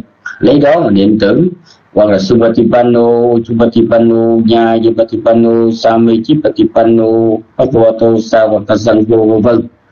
Thì à, chúng ta lấy đó mà niệm tử còn trường hợp và niệm giới niệm thí niệm thiên thì mình không có lấy một từ hay một cụm từ mà chúng ta lấy suy tưởng về cái đặc tính về cái ý nghĩa của giới.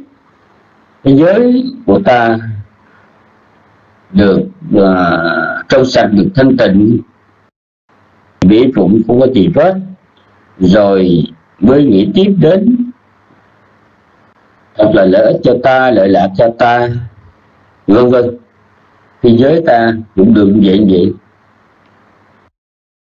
tưởng bố thí điện tưởng chư thiên cái câu hỏi của thượng tọa khi dẫn chứng cái vấn đề mà niệm thiên thì ở đây không phải là mình chỉ nhớ tưởng đến chư thiên rồi mình thờ mình vang vái chư thiên không phải vậy. À, mục đích là để cho mình quan hỷ với cái đức tin với cái giới hạnh, với cái sự tính pháp với sự xả tài, với trí tuệ của mình, có chư thiên làm bằng chứng. Tức là chúng ta đơn cử chư thiên. Chư thiên được sanh được cõi trời do nhờ đức tin. Như thế nào thì đức tin đó cũng có nơi ta, vân vân.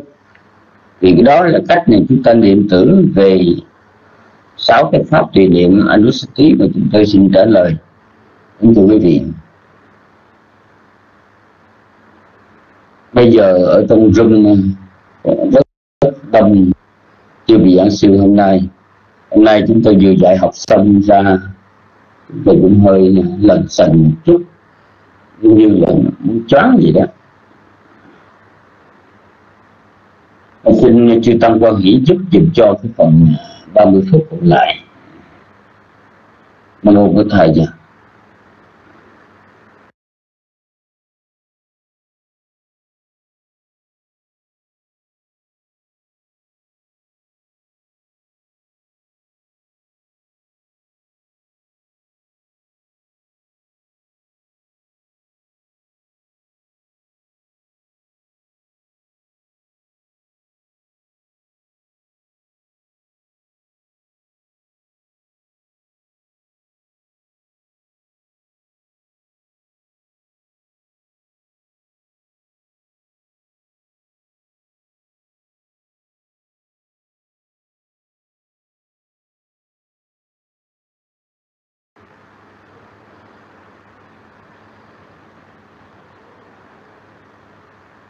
chúng tôi chắc chắn chất lượng công việc nên không có. Ồ rồi nó sắp bay đi nữa rồi. Cho nên có nhờ chị tăng à, điều hợp dùm à, xin hỏi vị à, chúng ta nhận được bao nhiêu câu hỏi thảo luận?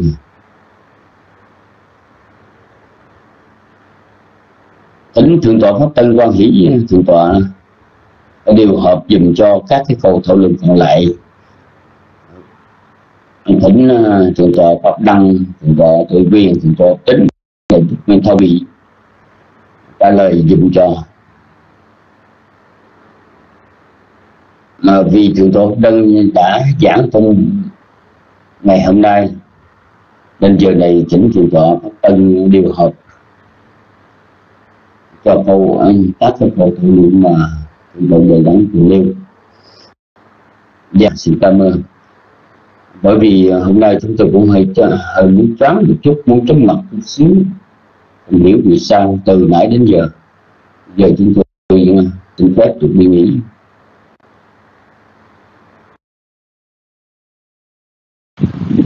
Dạ sa thú, con kính à, tri ân sư phụ rất nhiều. Nữa lại là sư phụ cũng sức khỏe cũng mệt trong có nhiều cho nên thỉnh sư phụ nghỉ sớm. Bây giờ còn phần còn lại thì à, à, để chư tăng sẽ cùng nhau thảo luận ừ, cầu câu những cái câu mà tôi giác đẳng nêu ra hôm nay. Và để uh, tiếp theo thì con nam mô bút thai giá nam mô tham ma giá nam mô sang khai giá kính lễ uh, tam bảo. Um, kính định lễ uh, thượng tọa tuệ siêu thượng tọa bạch đăng thượng tọa tuệ quyền tâm để đức pháp tính để đức nguyên thông uh, cùng chư tăng. Chào quý cô tu nữ và thân chào quý thiện nam tín nữ. Để uh, tiếp theo cái câu hỏi của thượng tọa giác đẳng thì chúng tôi xin được nêu ra cái câu ở đây. Thỉnh thượng tọa à, pháp đăng quan hỷ thảo luận dùm cái câu hỏi số 3 uh, à, một học giả nói rằng uh, sinh hoạt chùa chiền tại quốc gia Phật giáo là nền văn hóa. Dựa trên à, sáu tỳ niệm Phật. Pháp uh, pha tùy tỳ Phật tùy niệm pháp tùy niệm tăng tùy niệm giới tùy niệm thí tùy niệm và thi tùy niệm. Cái nhìn đó có xác thực chăng? Kính thỉnh từ thọ pháp đăng quan hệ thảo luận dùm ông đạo pháp đăng có trước máy không ạ? À? dạ. Quý vị có thấy uh, thượng tọa pháp đăng có tín hiệu không à và một lần nữa xin hỏi thượng tọa pháp đăng có nghe được không ạ? À?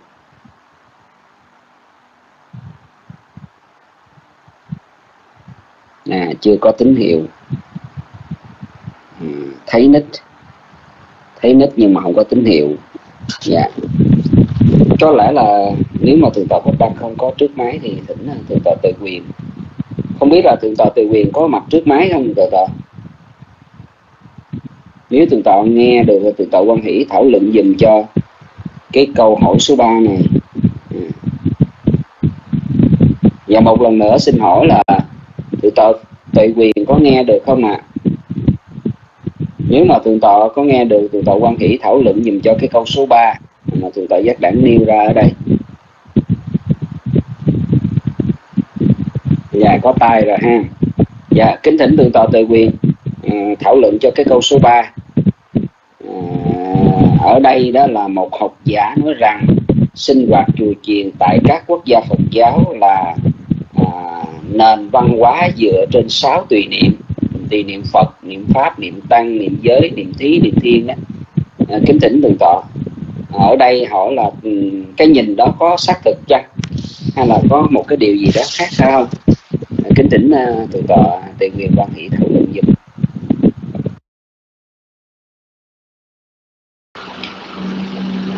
nam mô bút thầy giá nam mô tham mai giá nam mô sanh khai giác giờ tới đi đó không ạ. Dạ cảm ơn quý vị. Thì chúng con có lễ đến Phật đến giáo pháp đến chúng ta. Và kính lễ đến uh, thượng tọa pháp uh, uh, pháp tăng thượng tọa pháp tăng pháp đăng uh, thượng tọa minh hành thượng pháp tính để đức nguyên thông. Cùng trường công đức tăng đang hiện diện thân chào đến quý tu nữ cùng chư phật tử. Và cảm ơn quý vị đã báo được nghe rõ. À có thể nói rằng là Bồ giả nói rằng sinh hoạt của các chùa chiền các quốc gia Phật giáo là nền văn hóa dựa trên sáu tiền niệm xứ. Tức là niệm Phật tỳ niệm pháp tỳ niệm niệm tăng niệm thí niệm thiên niệm giới. Điều đó có chính xác không?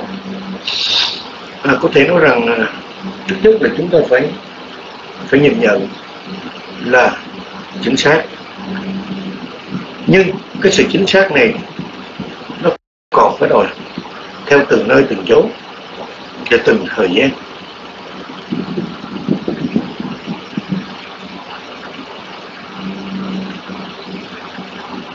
Như chúng ta biết niệm Phật niệm Pháp niệm Phật thì chúng ta thấy Việt Nam rất là nhiều nhưng niệm Pháp cũng ít thấy và niệm Tăng cũng ít thấy.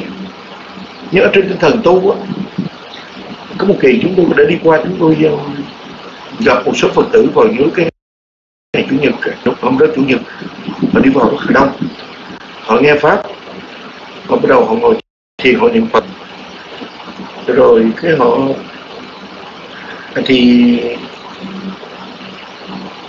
họ niệm phật cái pháp niệm tăng, bắt đầu họ nghe cả họ niệm thí niệm thiên, niệm giới, thì ờ, có một vị sư đó, thì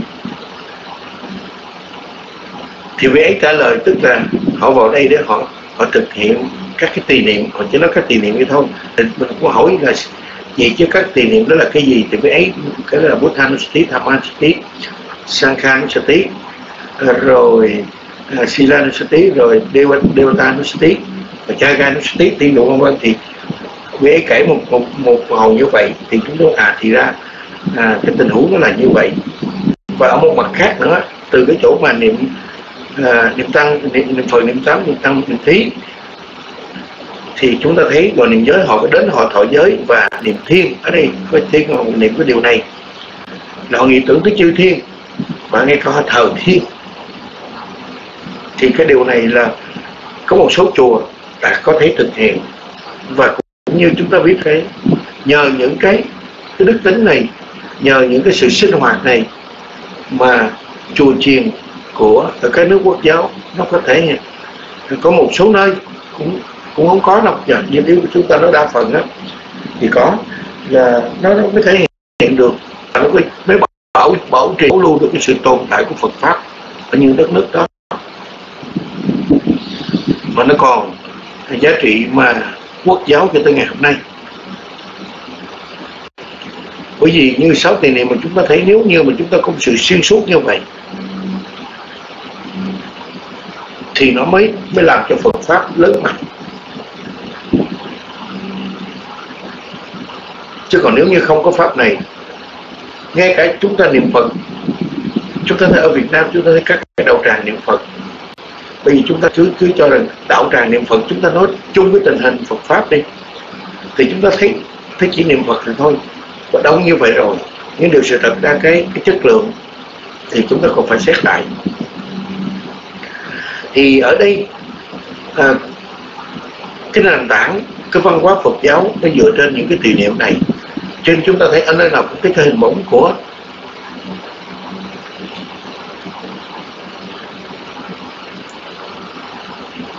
người còn nghe chúng tôi nói không ạ? À? để không té tự chúng tôi té chứ.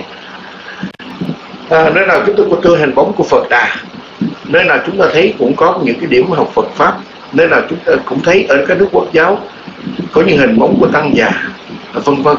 Thì ở đây chúng ta thấy chính là thể hiện rõ cái giá trị, hiện hữu cái giá trị văn hóa bao đời này của nước Phật giáo.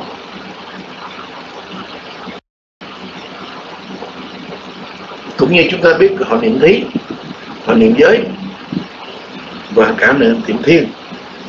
Một buổi sáng thức dậy như vậy sau khi vệ sinh xong họ đến họ thắp hương họ lễ phật. Và họ niệm tưởng tức là khi họ lễ phật là họ niệm tưởng phật họ niệm tưởng pháp họ niệm tưởng tăng.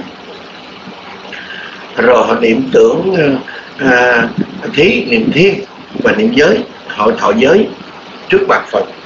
Và niệm thí và họ làm một thực hiện một cái việc làm ngay. Tức là họ cúng dường chư tăng đi bán. Và hướng nguyện cái phước này đến nhớ tưởng niệm tưởng đến các vị chư thần chư tiên. Bởi cho nên ở đâu đâu chúng ta thấy cũng có cũng có tháp thờ thiên. Dạ. dạ yeah. thì chúng ta thấy, ở đâu cũng thấy có cái tháp thờ chư thiên.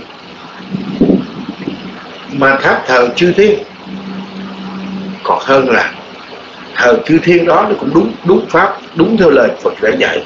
Còn hơn là chúng ta thờ tầm bậy tầm bạ thờ coi như là ông thần này là bà thần nọ.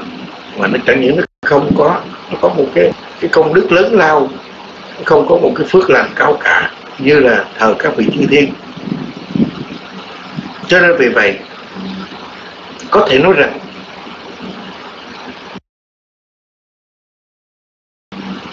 cái Phật pháp ở các nước quốc giáo, nó dựa trên các cái tiền niệm này là đúng là đúng như vậy. Và nếu như mà ở đất nước đất nước nào của quốc giáo mà sáu địa niệm này bắt đầu vắng mặt dần, thì chắc chắn rằng chúng ta thấy là một ngày nó sẽ mai một cái Phật pháp tại nơi đó. Mà rất là giá trị. Rất là thì chúng ta biết một ngày nếu như một ngày chúng ta bỏ ra để chúng ta tu tích cực.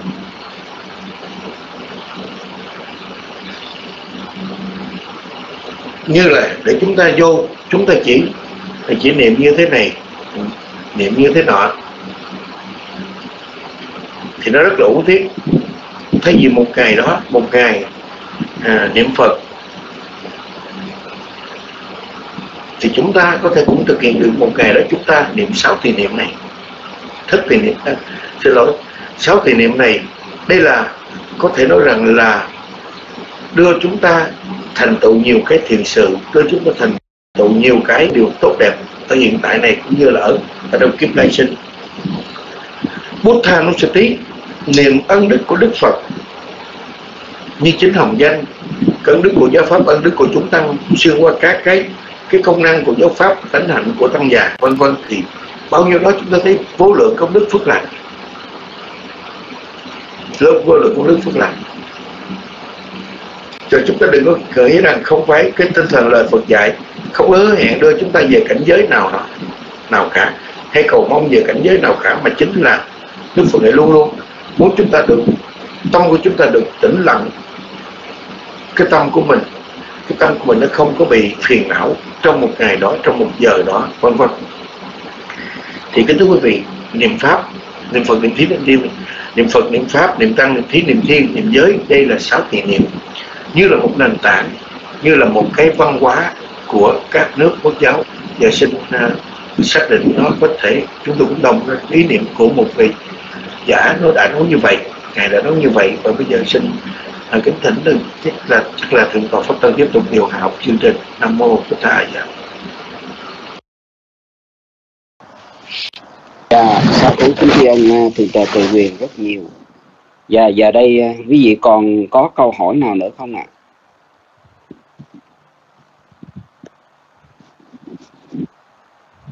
Dạ xin hỏi tri chúng rằng còn có câu hỏi nào nữa không ạ? À? Dạ. Dạ câu hỏi số 4. Dạ một lần nữa xin hỏi là thượng tọa Pháp Đăng có mặt trước máy không? Nếu có thỉnh thượng tọa quan hỷ à, thảo luận cho cái câu à, số 4. Dạ. Quý vị có nghe chúng tôi nói rõ không ạ? À?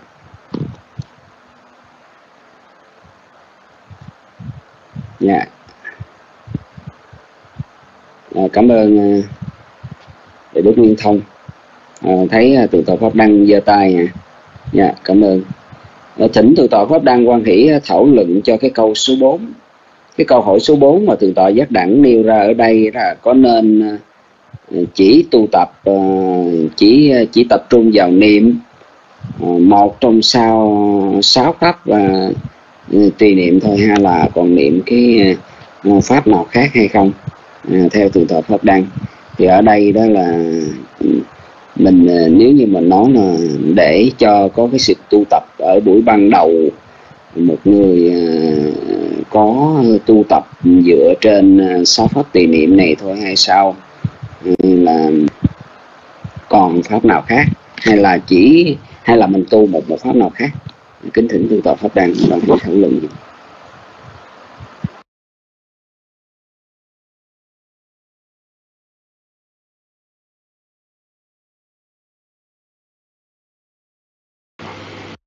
Alo. Alo quý vị nghe được không? Dạ cảm ơn quý vị. Thì uh, khi mình nói đến những cái phương pháp tu tập của đức phật tất nhiên là nhiều cái căn tánh. Mà chúng ta thấy ở trong cái căn tánh của chúng ta đó thì nó cũng có nhiều người căn tánh uh, uh, tham sân si tính tầm giác. Ừ có nghĩa là chúng ta có nhiều ờ, nhiều khi chúng ta có cái ờ, cái cái căn tánh tính hoặc là căn tánh tầm căn tánh giác hoặc là cả cái căn tánh tham căn tánh sân căn tánh si và điều này thì được đức phật ngài biết ngài biết được cái ờ, cái tùy miên phiền não trí của chúng ta đó ngài có trí tùy miên phiền não đó. hoặc là ngài biết được cái uh, quyền liệt thắng trí đó Ừ, các cái quyền tính tấn niệm định tuệ của chúng ta mạnh yếu quyền nào và đức phật cái thuyết pháp đó, thì ờ, chúng ta sẽ hành theo cái pháp đó. Ừ. nên nhiều khi chúng ta thấy rằng ờ, đối với đức phật ở đời đó, ờ, có nhiều khi mà ngài dạy chúng ta niệm phật thật pháp tăng tùy theo tùy theo cái cái căn tánh của trí tuệ của chúng ta. Nhưng bây giờ thì không còn đức phật chúng ta à, thì chúng ta có thể tu tập. À, mình học tùy niệm phật à, tùy niệm pháp à, tùy niệm tăng tùy niệm thí à, tùy niệm từ à, tùy niệm thiên. Mình học cái cách à, để mình tu tập. Thật sự thì chúng tôi cũng thấy các vị thiền sư đó quý vị các vị thiền sư thì dạy rất là nhiều cái phương pháp thiền chứ không hẳn là vị đó chỉ dạy một cái phương pháp thiền. À, quý vị thấy như là ngài hòa thượng kim triệu ngày thiền sư kim triệu ngài cũng dạy. Ờ, có những lúc thì ngài dạy à, niệm thân ờ, niệm thọ ờ, có lúc dạy niệm tâm có lúc dạy niệm pháp. Nói như vậy thì những cái pháp tùy niệm đó chúng ta cũng nên tu tập. Mà nếu chúng ta tu tập mà trong quá khứ chúng ta đã từng tu tập cái phương pháp nào rồi đó khi mình trải nghiệm qua đó à, cái điều này chúng tôi nói giống như mình mình mình có một cái cái sanh nha cái tưởng ở trong một cái ngôi nhà nào đó. Ở trong sáu ngôi nhà nhưng mình đã từng từng ở cái ngôi nhà đó rồi thì bây giờ mình đi ngang ngôi nhà đó mình có một cái sự nhớ à, trong cái tiềm thức người ta gọi là tiềm thức ấy. nhưng mà thật sự đó là cái tưởng cái sanh nha. Cái sanh nha trong quá khứ mình đã từng tu tập cái phương pháp đó. Chúng ta thấy như là ngài chu lắm anh đá cá trong quá khứ ngài là vua đó ngài đã lao một chiếc khăn và ngài có tưởng niệm đến cái thể trượt của thân. Và sau này đức phật ngài cũng đưa cái khăn và ngài cũng kêu ngài à, ngài chu lắm anh đá cá ngài dò và khi ngài dò một hồi đó thì cái khăn đó với cái tay đó nó ma sát nhau nó dơ đó, thì ngài tự suy nghĩ rằng tham à, bụi không bụi là cấu quế nhưng mà bụi không phải thế. Và tham mới là cấu quế. Rồi bụi không phải thế mà sân mới là cấu quế. Bụi không phải thế mà si mới là cấu quế. Đúng như tên à, đúng như tên là bất thiện. Thì ngày chú lắm anh ta cá ngày đã đắc đạo quả quý vị. Nên thành ra chúng nhiều khi chúng ta thấy rằng á với chúng ta nếu mà chúng ta có cái lòng tin với đức phật trong cái kiếp luân hồi đó thì giờ chúng ta có tu thể chúng ta có thể tu niệm phật niệm pháp niệm tăng niệm thí niệm giới niệm tiên. À, vì vậy đó là căn cứ vào à, những người đệ tử của đức phật quý vị. Ví dụ chúng ta thấy rằng uh, ngày Rathabala được Đức Phật ngày nói được để đệ nhất về lòng tin. À, à, ngày Rathabala có nghĩa là, là lòng cái lòng tin của ngày Rathabala đó à, đối với cái chánh pháp à, đối với lời dạy của Đức Phật à, thành ra chúng ta cũng hiểu rằng đối với chúng ta là những chúng sanh đã từng Phật bây giờ chúng ta có thể có nhiều khi người ta nói niệm Phật. À, nhưng mà có nhiều khi mình niệm pháp đó thì mình sẽ định tâm dễ hơn. Hoặc là cái nhiều khi niệm tăng á mình định tâm dễ hơn. Nói này thì chúng ta thấy rằng à, nếu một người trong hiện tại này đó họ tiếp xúc được một số các vị trưởng lão các vị mà có cái đức hạnh đó, thì họ tu tập niệm tăng nó dễ cho họ nó không bị quái niệm. Nhưng mà nếu chúng ta mà tiếp xúc và những vị tỳ khu đó mà gặp những vị mà hơi hơi mà hơi dễ vui đó thì mình à, mình tu tập mình rất là khó. À, rất là khó để mà mình mình dẹp được cái cái, cái quái niệm. Vì cái quái niệm đó chính là những cái điều mà à, do mình tiếp xúc đó, nó sanh ra những cái quái niệm đó. Ừ như vậy thì chúng ta có thể niệm phật ờ, niệm pháp niệm tăng niệm thí niệm giới niệm thiên. Ờ, chúng ta có thể niệm như vậy. À, theo chúng tôi thì giống như quý vị biết rằng tâm niệm cái sở hữu niệm chỉ là một một sở hữu thôi. À, khi mà niệm phật thì nó cũng sanh theo niệm phật được. Niệm pháp vẫn sanh theo niệm pháp được. À, chứ không phải là, là chỉ nói đến niệm phật thôi. Ừ. thành ra nhiều khi đối với chúng ta là bây giờ không có ai biết được cái căn thánh của chúng ta không ai biết được cái sự tu tập trong luân hồi của chúng ta. Nên chúng tôi nghĩ rằng quý vị cứ cứ việc ờ, niệm phật, niệm pháp, niệm tăng, niệm thí, niệm giới, niệm thiên. Nhưng mà khi nào quý vị mà tu tập trải qua rồi đó, quý vị biết rằng cái ngôi nhà mình ở đâu á, cái chỗ nào mình cần trú đó, thì tự bản thân mình biết quý vị. Ừ. điều này được đức phật này nói rất là rõ ràng quý vị. Ờ. Ở trong quá khứ mình đã từng tu tập rồi đó, thì bây giờ mình mình tu tập lại cái đó rất là dễ. Cũng như một người đã từng làm nghề địa nghiệp đó rồi, bây giờ họ làm rất là dễ chúng ta thấy như là ngày à, Sariputta ngày có cái người à, đệ tử đó năm năm kiếp làm nghề, nghề thợ bạc đó. Bây giờ ngài à, cái vị này xuất gia sớm mà còn trẻ tuổi còn trẻ. Nhưng mà ngày ngày Sariputta ngày ngày dạy đi được một bất tịnh đó, vị này không thể không thể này vị này có đắc được định quý vị. Không được đắc được định. Cuối cùng thì Đức Phật ngày quán vị này năm năm kiếp làm nghề thợ bạc ngày chuyên nhìn những cái gì mà ống ánh à, nó bây giờ đưa cái đề mục bất tịnh thì à, bị chỏi cái tâm của ngài á, chỏi. À, nên ngài không có thể nào đắc đạo quả được. Đức Phật ngày à, ngày dùng cái cánh hoa sen vàng ngài đưa cho cái vị tỳ khu này ngồi ở chỗ cái bờ hồ và niệm. Thì vị này ngồi lại thì nó tập trung rất là mau rất là mau rất là lẹ. Và thời gian tập trung nó lẹ nên Đức Phật ngài đã giúp cho vị này đắc đạo quả a la hán buổi chiều và buổi sáng thì là phàm phu buổi chiều là vị a la hán ờ, giao là cho ngài Sariputta ờ, người đệ tử là vị a vị thánh a la hán nói như vậy thì chúng ta thấy rằng nếu mà chúng ta tin không phải là quý vị nghe chư giảng sư nói là mình phải mình phải tin mà mình suy nghĩ cho nó thấu đạt mình phải tin. Và mình tu tập mình đạt được mình phải tin. Vì thường thường á, có nhiều vị đó là cái sở trường của vị đó là niệm phật. Có nhiều khi việc biết là sở trường niệm pháp mà dạy theo mình đó, thì mình không có cái cái sở trường đó. Và trong quá khứ mình cũng chưa từng tu tập cái phương pháp đó nên bây giờ mình tu tập nó nó, nó chậm để đắc định lắm. Yeah. nên trong thành định đạo cũng có nói cái căn tánh mình là tánh tính tánh tầm tánh giác tánh tham tánh sân tánh si hay là tánh hỗn hợp. À, thì các vị thiền sư đó thì họ hỏi quý vị họ nhìn vào cái cách ăn uống à, cái cách đi đứng của mình họ biết mình có tánh nào các vị thiền sư mà có nghĩa là với khả năng mà vị đó với cái nội tâm vị đó cao đó vị đó nhìn vào cái cách ăn uống cái cách sinh hoạt của mình thì các vị đó biết. Nhưng mà bây giờ thì à, chúng ta tìm được những vị thiền sư như vậy đó, đó là cái phước duyên của chúng ta. Còn bây giờ chúng ta không có tìm được những cái vị như vậy thì mình căn cứ vào lời dạy của Đức Phật mình cứ tu.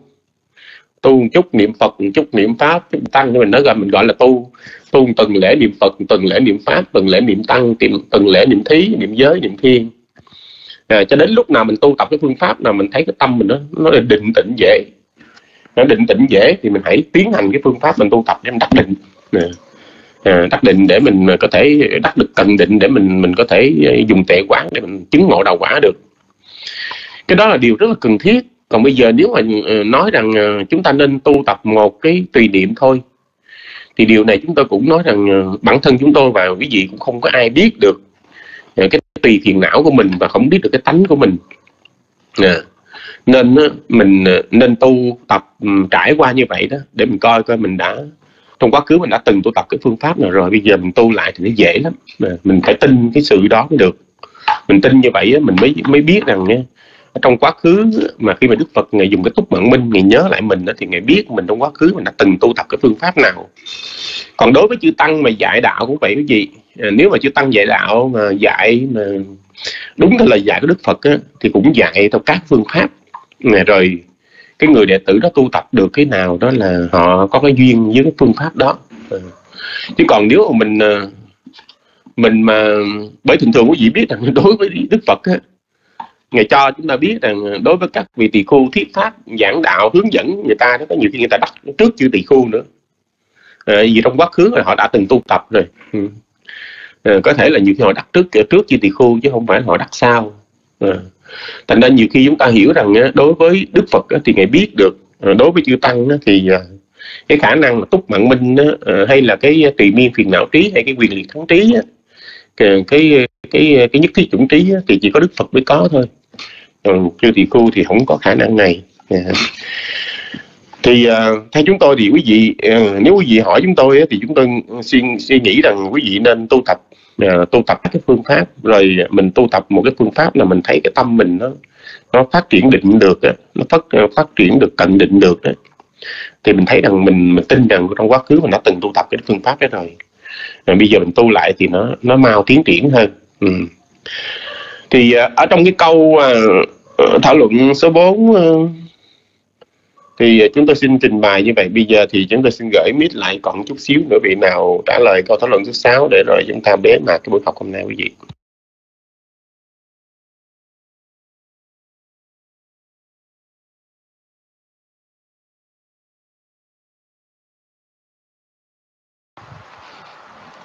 Dạ, quý vị có nghe được không ạ? À?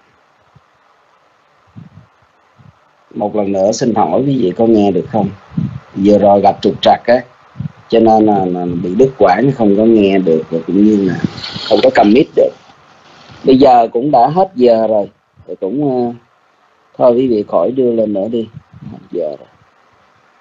À, um, kính uh, tri ân chư tôn đức đã uh, vào ở thảo luận giờ uh, mời uh, À, kính à, đảnh lễ ờ, tạm biệt quý ngài. Kính chào quý vị. À, chúc quý ngài và quý vị một ngày một đêm an lạc. Mời à, vị tri chúng hôm nay lên à, tri ân chư tùng đức và mở kinh hồi hướng. Nha yeah, xin mời.